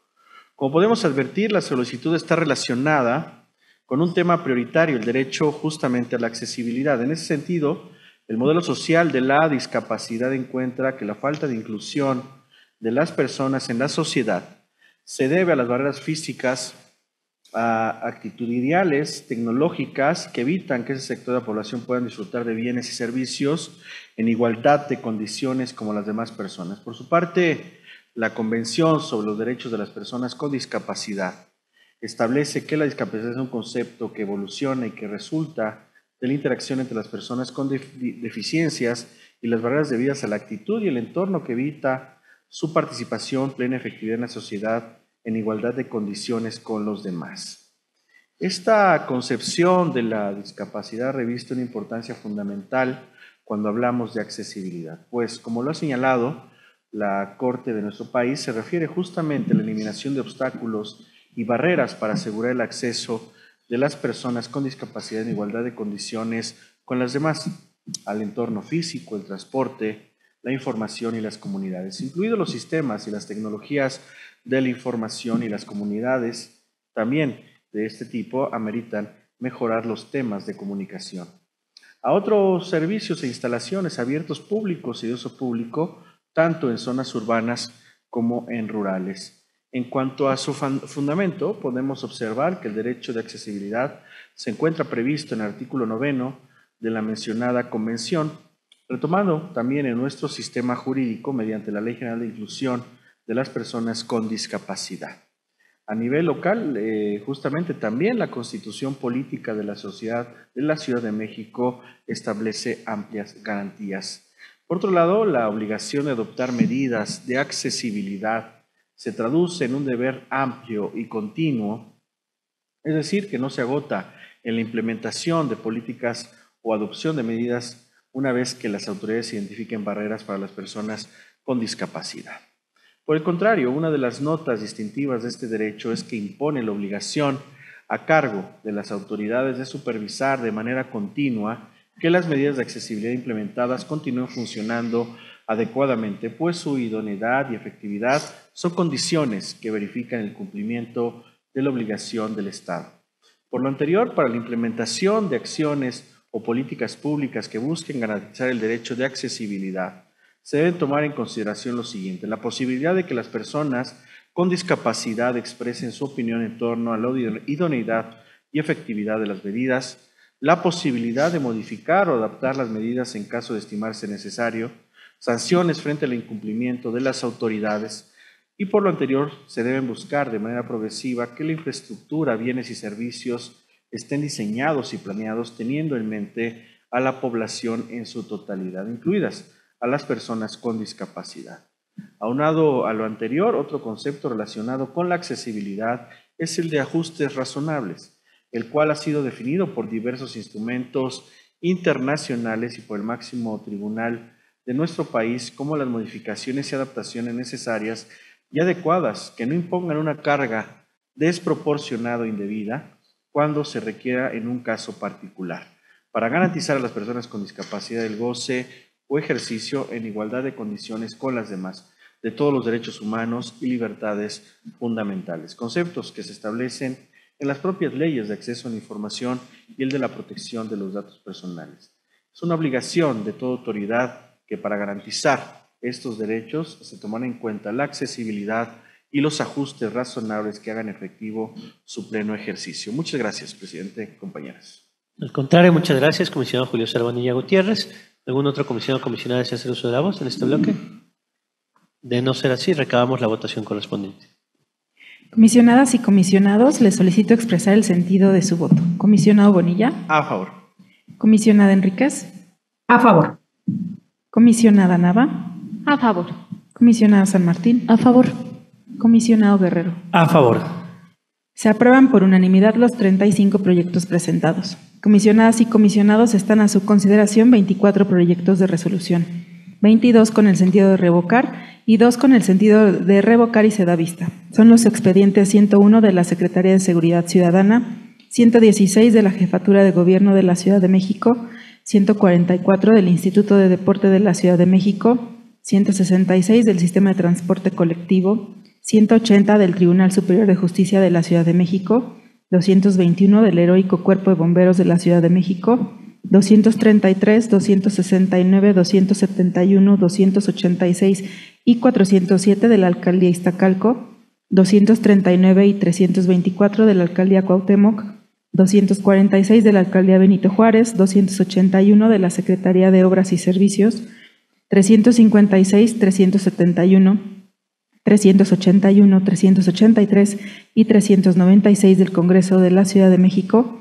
406 del Tribunal de Justicia Administrativa de la Ciudad de México, 7407 del Instituto de Estudios Superiores de la Ciudad de México, Rosario Castellanos, 284 y 285 de la Alcaldía Iztacalco. Muchas gracias. ¿Algún comisionado o comisionada uso Adelante, comisionada María del Carmenova. Gracias, presidente. En este bloque me interesa hacer la exposición del recurso 383, diagonal 2024, eh, presentado en contra del Congreso de la Ciudad de México. Solicitaron a la Comisión de Selección del Sistema Anticorrupción de la ciudad información relacionada con las convocatorias de los años 2018 y 2019. En su respuesta, eh, la Unidad de Transparencia del Congreso se declaró no competente y remitió la solicitud a la Secretaría Ejecutiva del Sistema Local Anticorrupción y al Comité Coordinador, a quienes identificó como las entidades adecuadas para atender la solicitud. Esta declaración de incompetencia fue motivo del agravio que la persona manifestó en el recurso de revisión. En el análisis que realizamos en mi ponencia, encontramos que la ley del sistema anticorrupción de la Ciudad de México mandata al Congreso conformar la comisión de selección y emitir convocatorias para el proceso de designación del Comité de Participación Ciudadana. Derivado de estas atribuciones, el Congreso publicó en la Gaceta Oficial de la Ciudad del 28 de noviembre de 2019 el decreto que designa a las personas que integraron la comisión de selección. Esto es un indicio de la generación o posesión de la información solicitada. Sin embargo, al declararse incompetente y al no turnar la solicitud a todas sus áreas, consideramos que el Congreso no cumplió con los principios de congruencia y exhaustividad. En consecuencia, la persona tiene razón en su queja. Nos pareció relevante exponer este recurso de revisión para comentar sobre el papel fundamental del sistema anticorrupción y del rezago en el que se encuentra la capital del país en esta materia. Los sistemas anticorrupción, tanto en el ámbito local como nacional, desempeñan un papel crucial al establecer políticas preventivas contra la corrupción, crear mecanismos eficientes para la gestión y auditoría de los recursos públicos y fomentar la colaboración entre entidades responsables de la fiscalización, la transparencia y la rendición de cuentas. También resulta alarmante que la Ciudad de México, al igual que Nuevo León y Veracruz, no disponga de un comité de participación ciudadana y por lo tanto de un comité coordinador del sistema anticorrupción, tanto activo como funcional. A esto se suma que como en Puebla, Guanajuato, Chihuahua, Sinaloa y Baja California, aún no se ha nombrado a la persona titular de la Secretaría Ejecutiva. Además, comparte con Nuevo León, Tamaulipas y Baja California la ausencia de una política estatal anticorrupción y la falta de un presupuesto específico en esta materia. El debilitamiento de estas eh, instituciones se hace todavía más incomprensible en una ciudad donde nueve de cada diez personas adultas piensan que los actos de corrupción son muy frecuentes y el 57% de la población percibe a la corrupción como uno de los problemas más importantes de acuerdo con el INEGI. El acceso a la información sobre, sobre medidas de integridad pública son esenciales, más aún en un año electoral donde las personas deben tener acceso a datos completos, fidedignos en los portales oficiales. Cabe mencionar, por cierto, que la pérdida de archivos históricos de la Asamblea Legislativa del Distrito Federal, que ha documentado distintos medios, vulnera el derecho fundamental a la información y subraya, por supuesto, la importancia del archivo como elemento central de un Estado abierto. Por tanto, garantizar el acceso a la información sobre el sistema anticorrupción con el que cuenta el Congreso de la Ciudad trasciende el cumplimiento de la ley de transparencia. También es esencial para fortalecer las bases de una sociedad informada capaz de contribuir en la promoción de la integridad pública. En este caso que nos ocupa, propongo a este colegiado revocar la respuesta del Congreso de la Ciudad para que emita, asuma competencia y emita una nueva en un plazo máximo de 10 días hábiles. Esa respuesta deberá ser generada después de turnar la solicitud a todas las áreas competentes con el objetivo de agotar la búsqueda exhaustiva y razonable y en caso de que no localice la información de interés, deberá realizar declaración de inexistencia de conformidad con el procedimiento que establece la ley de transparencia. Sería cuanto. Muchas gracias. Muchas gracias, comisionada María del Carmen Nava. ¿Algún otro comisionado o comisionada desea hacer uso de la voz? De no ser así, recabamos la votación correspondiente. Comisionadas y comisionados, les solicito expresar el sentido de su voto. Comisionado Bonilla. A favor. Comisionada Enríquez. A favor. Comisionada Nava. A favor. Comisionada San Martín. A favor. Comisionado Guerrero. A favor. Se aprueban por unanimidad los 24 proyectos presentados. Comisionadas y comisionados están a su consideración cuatro proyectos de resolución con el sentido de ordenar y se da vista son los expedientes 214 de la alcaldía Gustavo Madero, 433 del alcalista Calco, 479 de la Junta Local de Conciliación y Arbitraje de la Ciudad de México y 484 de la alcaldía Xochimilco. Muchas gracias. ¿Algún comisionado o comisionada desea hacer uso de la voz? Bueno, en este... Adelante, comisionada Laura Liceta Enrique Rodríguez. Gracias, presidente. Muy amables. Bueno, en, esta ocasión también aprovechar este bloque en el que nos encontramos, que es el de ordena y dar vista, eh, para señalar que justamente en los recursos el 214 y el 433, ambos del 2024, que corresponden a mis colegas comisionadas, eh, eh, yo expresaría, digamos, mi voto, ya es un voto de criterio, de hecho, por considerar que al existir una respuesta en este recurso no nos llevaría a ningún, digamos, no habría fin práctico para ordenar de nueva cuenta la emisión de una respuesta que ya existe o que obra ya en el expediente. Así que consideraría que el sentido de estos recursos habría de ser un sobreseimiento por quedar sin materia y dar vista. Muchísimas gracias. Eso sería cuanto en este bloque. Muchas gracias. ¿Algún otro comisionado o comisionada? Ah, adelante, comisionada Marina Alicia San Martín. Gracias. No, en el 214 que me corresponde a esta ponencia mantener el sentido eh, como ordena y da vista por el criterio ya manifestado. Gracias, presidente. Muchas gracias. ¿Algún otro comisionado o comisionada desea hacer uso de la voz? Bueno, también en señalar que me aparto del estudio en estos expedientes 214 y 433.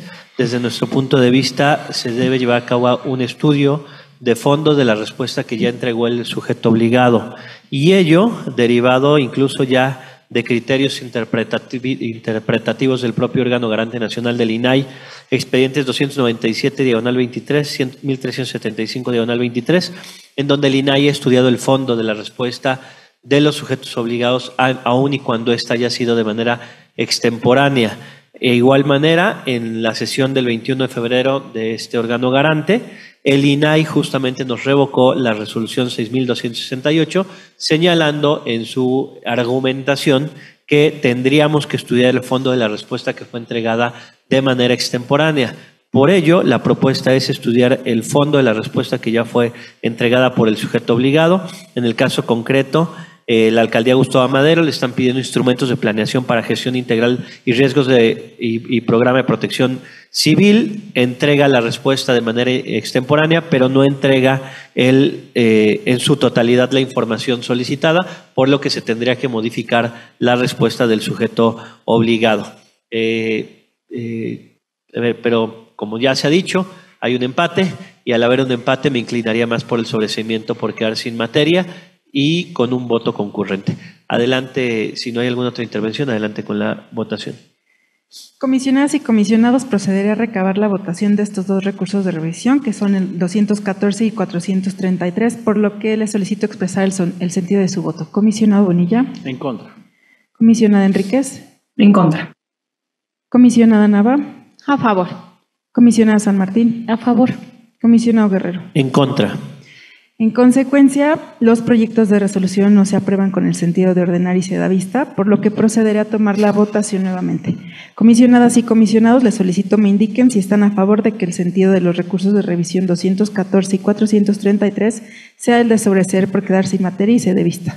Comisionado Bonilla. A favor. Comisionada Enríquez. A favor. Comisionada Nava. En contra y presentaría voto particular. Comisionada San Martín. En contra, con voto particular. Comisionado Guerrero. A favor con un voto concurrente. Se aprueba por mayoría de tres votos a favor que el sentido de los recursos de revisión 214 y 433 era el de sobreseer por quedar sin materia y se de vista, con los votos particulares de la comisionada Nava y la comisionada San Martín y el voto concurrente del comisionado Guerrero. Ahora procederé a tomar la votación de los dos proyectos de resolución restantes, por lo que le solicito expresar el sentido de su voto. Comisionado Bonilla. A favor. Comisionada Enríquez. A favor. Comisionada Nava. A favor. Comisionada San Martín. A favor. Comisionado Guerrero. A favor. Se aprueban por unanimidad los dos proyectos presentados. Es cuanto, comisionado presidente. Muchas gracias. Continuamos con el siguiente bloque que corresponde al desahogo de los proyectos de resolución de denuncia por el probable incumplimiento de las obligaciones de transparencia. Adelante, secretaria.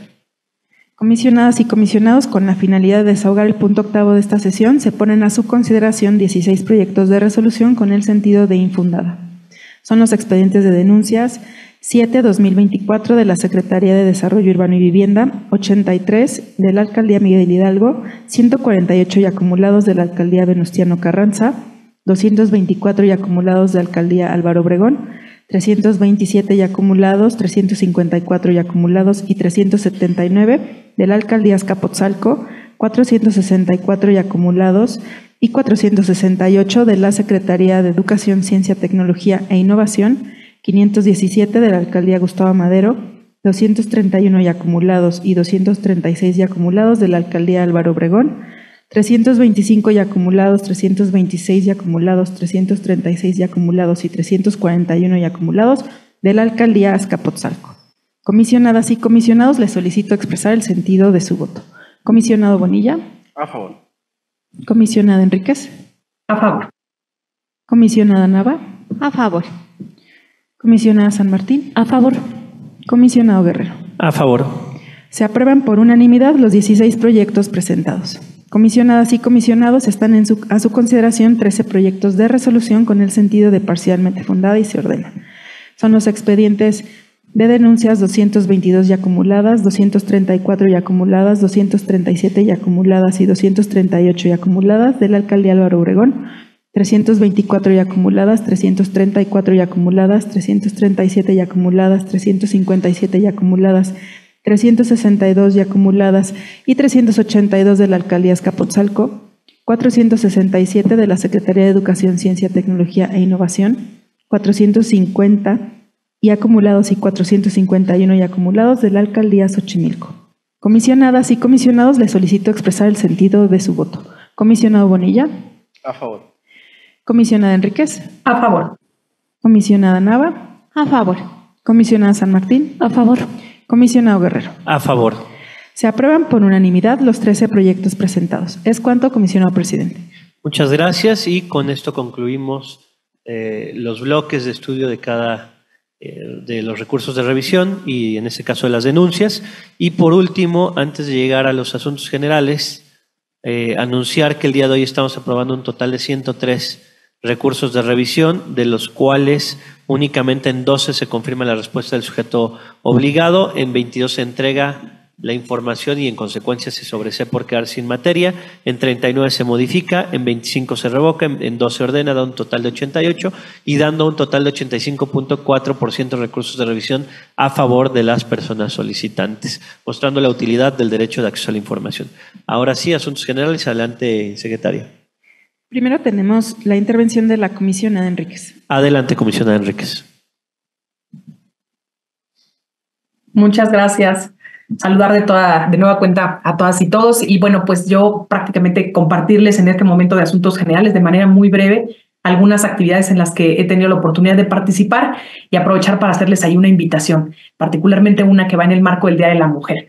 Bueno, pues les cuento que justo el martes pasado, eh, que fue 27, el día de ayer, a la una de la tarde, eh, fue la presentación y aprobación de un programa de mentorías para apoyar a grupos vulnerables en derechos arco y portabilidad. Se presentaron ahí un par de guías en esta eh, Comisión de Derechos Humanos y de Equidad de Género e Inclusión Social del Sistema Nacional. Nosotros nos agrupamos así, trabajamos en temáticas dentro del Sistema Nacional de, Transparente, de Transparencia y bueno, estas guías fueron de lenguaje incluyente, de personas adultas mayores, inclusión de personas con discapacidad. Muy importante el enfoque que se le da a estos grupos en situación de vulnerabilidad. Y bueno, eh, comentarles también que eh, se conmemoró el Día Internacional de la Mujer, se conmemorará, perdón, el Día Internacional de la Mujer y lo hacemos nosotras en el Info de la Ciudad de México con más información. ¿Para qué? Para que con más información tengamos más voz y podamos romper las brechas de género. Por eso es que con mis colegas la comisionada Mari Carmen y la comisionada Marina. Vamos a lanzar este evento, este foro el próximo martes 5 de marzo para que si tienen oportunidad lo anoten en su agenda a partir de las 10 de la mañana y más o menos como hasta las 2 de la tarde. Y lo que van a poder es ustedes eh, seguir diversos paneles. En particular, a mí me toca empujar el de empoderarnos a través del acceso a nuestros datos personales Vamos a estar hablando del expediente clínico. Mis colegas también hablan de cómo empoderarnos a través de la información en diferentes enfoques, pero creo que la alineación de este foro en este año nos quedó muy bien y en esta ocasión, insisto, vamos a participar con especialistas del sector salud eh, para poder hablar de la importancia del acceso a nuestros datos personales a partir de este instrumento médico legal que es el expediente clínico. Eh, eh, también incluso incorporaremos la voz de quienes eh, forman parte, digamos, de las experiencias positivas en, el acceso a expediente clínico para saber eh, en qué medida una persona de a pie nos puede funcionar acceder a este tipo de información que tiene datos personales y que obra en distintos tipos de organizaciones, particularmente aquí en Ciudad de México en organizaciones públicas, pero que en el resto del país, por supuesto, este, y, en consideración al tipo de actividad que nosotros tengamos, pues también obra en, eh, en instituciones privadas. Entonces, los invitamos, aprovechamos para hacer esta invitación y que nos acompañen el próximo 5 de marzo. Eso sería cuanto, presidente. Gracias y aprovecho para despedirme de todos a la distancia. Muchas gracias, comisionada. Adelante, secretaria. En segundo lugar, tenemos la intervención de la comisionada San Martín. Adelante, comisionada San Martín. Gracias, presidente. En continuación, justo a la conmemoración del día 8 de marzo, eh, pues platicar de este evento que ya se mencionó, que las comisionadas organizamos cada año será el día martes 5, el horario es de 10 a 2, invitarlos y reinvitarlos e insistirles que ojalá puedan participar, puedan estar pendientes de las mesas, será un trabajo interesante. Y eh, efectivamente el foro eh, que tiene por nombre con más información, más voz, estrategia para romper brechas de género, se divide en tres mesas coordinadas por cada una de las comisionadas. En el caso de la mesa que le corresponde a eh, que me corresponde coordinar, eh, trataremos temas, digamos, como, como, ciertos ejes de la información nos ayudan a empoderarnos. Y entre ellos, eh, los ejes que queríamos tocar era la parte que tiene que ver con salud. y ahí en general la información de salud, cómo es útil y tocar un poquito, esperemos así sea, este, estimada Carmen, que lo haga la comisionada Blanca Lilia, tocar un poquito de cuidados para que luego puedas tú ya, ¿no? Entrar ahí, que ya lo comentará, ¿no? La comisionada no entró ahí. Y luego está también otro eje que es el de educación, que nos parece fundamental, además del área de capacitación que damos seguimiento, que nos compartirá la presidenta de la Comisión de Derechos Humanos de la Ciudad de México, Nacheli Ramírez, a la que le agradecemos también. Y eh, queremos también platicar de la manera de emprender como mujeres para tener ingresos, porque es muy importante la fuente de ingresos con un empleo formal o bien con emprendimiento. Y ahí Andrea Cristina Viteri nos platicará, ella es gerente general de AB Gender Consultoras, eh, eh, también al respecto de este tema. Y finalmente, eh, para cerrar, a pesar de que están en el orden eh, distinto por las agendas de las, de las participantes, pero esa es la lógica, la parte de autonomía financiera, que es la que nos permite eh, pues no estar sujetas a nada y poder decidir con libertad. Y esto, Claudia Corichi, que es titular de la Unidad de Igualdad de Género, que, eh, que participa en la Auditoría Superior de la Federación, nos acompañará también en esta primera mesa. Y bueno, pues nada más eh, decirles que las esperamos a todas y a todos que nos acompañen ese día, el 5 de, 9, de 10 de la mañana a 1 de la tarde. Muchas gracias, presidente Cuanto. Muchas gracias, comisionada Marina Alicia San Martín. Adelante, secretaria. Ahora tenemos la intervención de la comisionada Nava. Adelante, comisionada Nava. Muchas gracias. Pues eh, invertiré un poco el orden para ir más orgánicas en esta parte del 8M y 5 de marzo, la invitación. Eh, nosotras delimitamos justo trabajar con el tema de cuidados en distintos frentes. Eh, y el primer, bueno, en realidad el primer eh, evento o actividad que vamos a tener en torno a cuidados y equidad de género es el ideatón que vamos a tener eh, el próximo 2 de marzo, justo para poder celebrar el, em, el Día de Datos Abiertos a nivel mundial. Incluso nuestra actividad está ya insertada en este mapa mundial donde podemos visibilizar justo estas necesidades de información y concretamente el aprovechamiento de datos abiertos para cuidados. Eh, y, en, bueno, en, esta actividad vamos a em, acudir a la convocatoria de SocialTIC, que es una organización de sociedad civil especializada, y con el enfoque en economía de cuidados vamos a estar en el eh, espacio nativo que se ubica en la colonia San Miguel Chapultepec. Sé que es en sábado, pero la verdad es que se pone increíble esa actividad. Va a ser de 11 de la mañana a 13 horas, concretamente en nuestro ideatón. Eh, y nos van a acompañar en la dinámica Fernanda García del Instituto Mexicano para la Competitividad, el IMCO, Aura Martínez de la Iniciativa Global para la Transparencia Fiscal, así como Diana Contreras, María José Zacarías y Elia Villegas, todas ellas de la Secretaría de Movilidad de la Ciudad de México. Así que bueno, esperamos verles el próximo sábado en Nativo. Eh, y, bueno, en esta articulación del 8M respecto a las actividades que vamos a tener, las mesas, el foro que ya hicieron alusión mis colegas San Martín y Enríquez, el 5 de marzo nos vemos en las instalaciones del Info de la Ciudad de México. En concreto, eh, organicé el panel sobre derecho a saber para impulsar un sistema de cuidados eh, y van a participar Landy Lisbeth Sánchez Peña del Colegio de México, Karina Villa Ayala de la Red de Cuidados en México, Valeria Moy Campos del Instituto Mexicano para la Competitividad y Sofía Ramírez Aguilar de México cómo vamos. Para nosotras es muy, muy importante justo echar mano del, eh, del, acceso a la información pública, la información que hay por transparencia, el aprovechamiento de datos abiertos en torno a necesidades muy concretas en materia del sistema de cuidados y cómo podemos articularnos de mejor manera.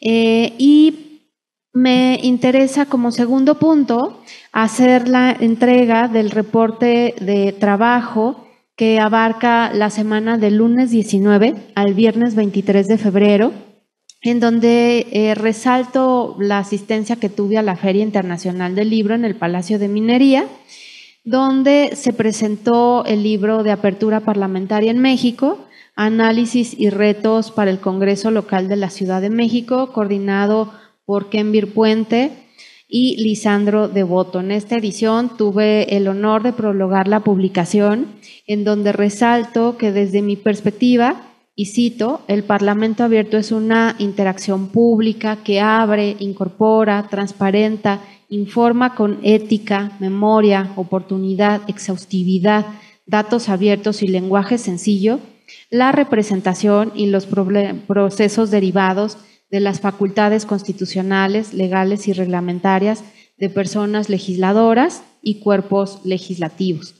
La publicación se compone de 13 capítulos con la reflexión de 15 personas especialistas que tienen perspectivas de control parlamentario, de fiscalización, de transparencia en grupos parlamentarios y de apertura en comisiones. Proponen, por supuesto, el desarrollo de estándares de Parlamento abierto, así que no se lo pierdan, está en línea, por supuesto, eh, con mis colegas de la Facultad de Ciencias Políticas de la UNAM, así que descárguenlo, está más que disponible. Y como tercer punto, me interesa eh, hacer la entrega y la presentación de algunos resultados del reporte eh, especial de este 2024 que elaboramos desde el equipo de Estado Abierto en esta ocasión, analizamos la información pública sobre programas y acciones sociales en sujetos obligados que implementaron en el año 2023. Este reporte se suma a los 98 que tenemos ya acumulados entre informes, estudios y reportes especializados que hemos elaborado desde 2019 bajo mi coordinación es parte y un poco contribuirles o participarles el sustento em, legal donde realizamos eh, justo la atribución como comisionada. Es de conformidad en el artículo 14, fracciones 18, 21 y 29, así como de las atribuciones eh, justo de eh, la área técnica establecidas en el artículo 22, fracciones 2 y 18, ambos del reglamento interior del instituto, de nuestro Instituto de Transparencia de la Ciudad de México. Y este reporte comprende el análisis de información de programas y acciones sociales implementadas, como les comentaba, durante el ejercicio fiscal 2023, publicado entre el primero de enero y el 31 de diciembre difundido tanto en portales institucionales de los propios sujetos obligados de manera proactiva y reportado también como parte de sus obligaciones de transparencia, así como de solicitudes de información y recursos de revisión de acceso a la información cuyos textos se relacionan con programas y acciones sociales. Este es un reporte que incluso pueden replicar desde el ámbito de investigación o academia porque es con metodología abierta y sobre todo aprovechando las bases de datos que concentramos en el portal institucional del Info de la Ciudad de México. Eh, así que bueno, pues también aprovechen a utilizar esta información. Destaco algunos de los hallazgos y resultados. Se identificaron 309 programas y acciones sociales publicados en la Gaceta Oficial de la Ciudad que fueron, em, que corresponden a 35 sujetos obligados. El 62%, 190 programas y acciones se difundieron en los portales institucionales de sujetos obligados, em, ya sea tanto en las páginas de inicio, en secciones específicas o incluso en micrositios diseñados exclusivamente para facilitar el acceso a la información sobre estos programas sociales. Identificamos la información de 98 programas y acciones en la Plataforma Nacional de Transparencia, lo que representa el 32% del total hallado en la Gaceta Oficial y el 51% de los divulgados en los sitios web institucionales. Eh, de tal manera que se contrasta justo lo que se publica en Gaceta, lo que se presenta en sitio web y lo que se puede consultar en la Plataforma Nacional de Transparencia. Por otro lado, mediante un sistema de filtrado del texto de solicitudes de acceso a la información del 2023, encontramos un total de 4.596 solicitudes relacionadas con estos temas y también eh, encontramos 383 recursos de revisión eh, relacionados eh, y resueltos por este colegiado en del Info de la Ciudad de México. En cuanto a las padrones de personas beneficiarias, encontramos 78 padrones de los 309 programas y acciones sociales, lo cual representa la cuarta parte y eh, recordando que está la obligación legal, por transparencia deben ser públicos los padrones sociales de cualquier eh, programa o acción social. Y como parte de la revisión de la Gaceta, se detectó un presupuesto total de 19.598 millones, eh, que es prácticamente, bueno, que abarcan estos 309 programas, de los cuales eh, incluso corresponden a la concentración del 42% hacia el fideicomiso bienestar educativo de la Ciudad de México. Eh, incluso las alcaldías concentraron el menor número de programas, perdón, el mayor, que son 252, no obstante, ejercieron el 16% del presupuesto eh, total. Estos son algunos de los resultados y por supuesto invitarles a consultar este tipo de reportes que hemos realizado como parte de las facultades que tenemos en los garantes de transparencia. Y por supuesto agradecer el trabajo de monitoreo, de redacción, de revisión, de edición y diseño eh, a Zulema Oviedo, Soledad Rodrigo, Daniel Saavedra, Ulises Mendoza, Evelyn Salazar, Daniel Cervantes, Melissa Romero y Lourdes García, así como a nuestras prestadoras también de servicio social, que tienen un trabajo bien bonito, igual con nosotras, que es Roxana Larrinaga y Axel Rodríguez. Gracias por su apoyo. Y finalmente dar, justo con motivo eh, y aprovechando que estamos en la Facultad de Derecho, muchísimas gracias por la organización de este evento, de esta sesión del Pleno, eh, porque en el caso de mi equipo de trabajo, estamos hablando que el 38% de las personas, somos 26 en total, son egresadas de la Facultad de Derecho eh, y también el 69%, casi 7 de cada 10 personas de mi equipo de Estado abierto son de la UNAM. Por supuesto, eh, estamos conformadas en un equipo interdisciplinario, también de diversas eh, universidades y em, pues sí, instituciones académicas y por ello la pluralidad siempre pues se reconoce, se agradece porque juntas llegamos eh, pues más lejos definitivamente con, la diversidad. Eh, y también, fíjense que en el caso de mi equipo, el 58% somos mujeres, así que también esta perspectiva de transversalizar el tema de género eh, y quienes pueden estar justo acompañándonos, acompañándonos en el trabajo de arrastrar el lápiz. en, en el caso particular de una servidora siempre ha sido fundamental. Eh, por decir algunas de las profesiones de que nos integramos, es por supuesto derecho, administración pública, sociología, comunicación, física, ciencia política, por supuesto, ¿no? trabajo social, arte, diseño y bueno, estamos también de la, de la UAM, del ITAM, del UP, de, este, de la Universidad del Valle, de Univer Millennium, de la Barra Mexicana de Abogados, así que pues nuevamente aprovechar eh, el agradecimiento por la oportunidad.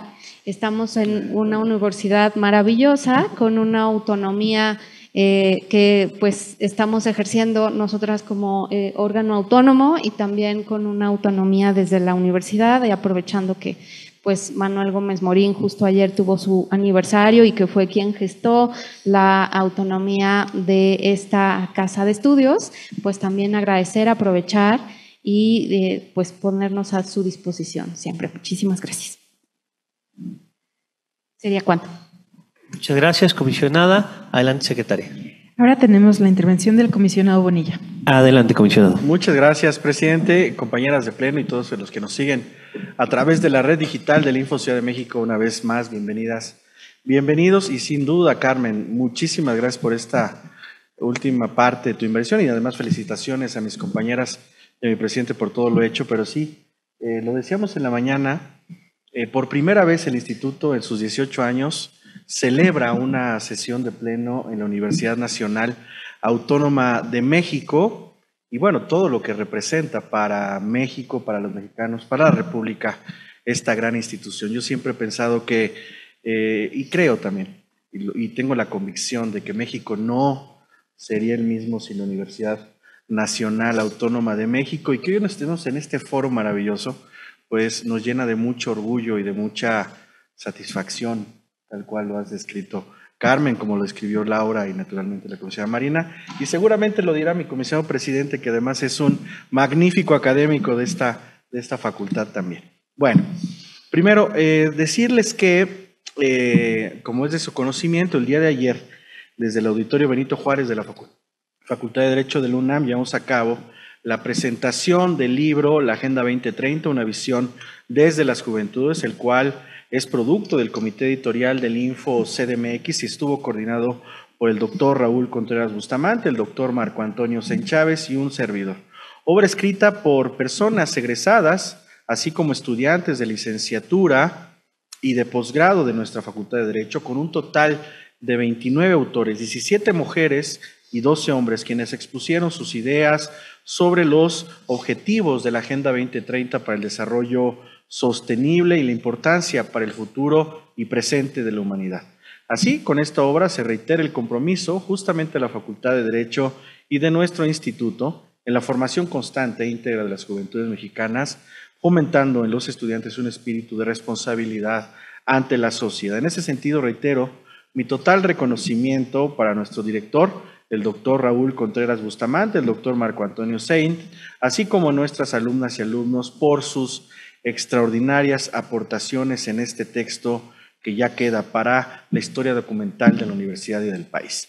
Asimismo, aprovecho para invitarles el próximo miércoles 6 de marzo al auditorio Benito Juárez de la Facultad de Derecho de la UNAM, que será nuestra primer sede de las semanas universitarias por la transparencia 2024, proyecto que, como saben es coordinado junto con mi querido amigo y comisionado presidente del INAI, Adrián Alcalá Méndez, el cual busca promover la participación de la comunidad universitaria en temas de transparencia, protecciones personales, rendición de cuentas, combate a la corrupción, privacidad, autodeterminación informativa, en fin, el valor que tienen estos elementos para cualquier democracia moderna. Les invitamos a seguirnos por las redes sociales de nuestra facultad, del INAI y naturalmente del propio Info Ciudad de México. Finalmente, aprovecho este espacio para agradecer una vez más al doctor Raúl Contreras Bustamante, querido director de esta Facultad de Derecho, por su apoyo, coordinación, hospitalidad y colaboración para llevar a cabo esta sesión que ya es histórica, una jornada universitaria por la transparencia y la privacidad 2024 y la séptima sesión del Pleno del Info CDMX en 2024, que estoy cierto abona a, fomentar la cultura de la transparencia y la privacidad entre la comunidad universitaria de este gran país. Eh, sin más, también reitero mi más amplio agradecimiento a mis compañeras de pleno, a Mari Carmen Nava, a Marina San Martín, a la comisionada Enríquez y naturalmente a mi presidente y a todo el equipo de trabajo del Info Ciudad de México, un equipo muy valioso, eh, muy tenaz, muy apasionado, eh, que ha nos ha ayudado a que, como dijo en algún momento mi presidente, convertirnos en comisionadas y comisionados de territorio eh, y lo estamos logrando hoy, ocupando las plazas y los espacios públicos en las universidades, tanto públicas como privadas, porque vendrán nuevas sedes y nuevas universidades. Por cierto, ahora Carmen, por cierto que dices, vamos a visitar tu universidad, la universidad también de Laura Lisset, que es el ITAM, ya estamos también coordinando el asunto por allá. Sin más, reitero mi más eh, amplio reconocimiento a todas y todos ustedes y eh, el reconocimiento, el impulso del Pleno y la coordinación con la Facultad de Derecho para la realización de estas acciones. Muchas gracias también, presidente, eh, compañeras, por todo el apoyo. Un abrazo fuerte a la distancia. Muchas gracias, comisionado Julio Sarbonilla Gutiérrez. Adelante, secretaria. Ya solamente tenemos su intervención. Le agradezco mucho y como lo decíamos en la inauguración, eh, David Alfaro Siqueiros eh, tiene un mural precioso en el edificio de rectoría denominado La Universidad al Pueblo, el pueblo a la universidad.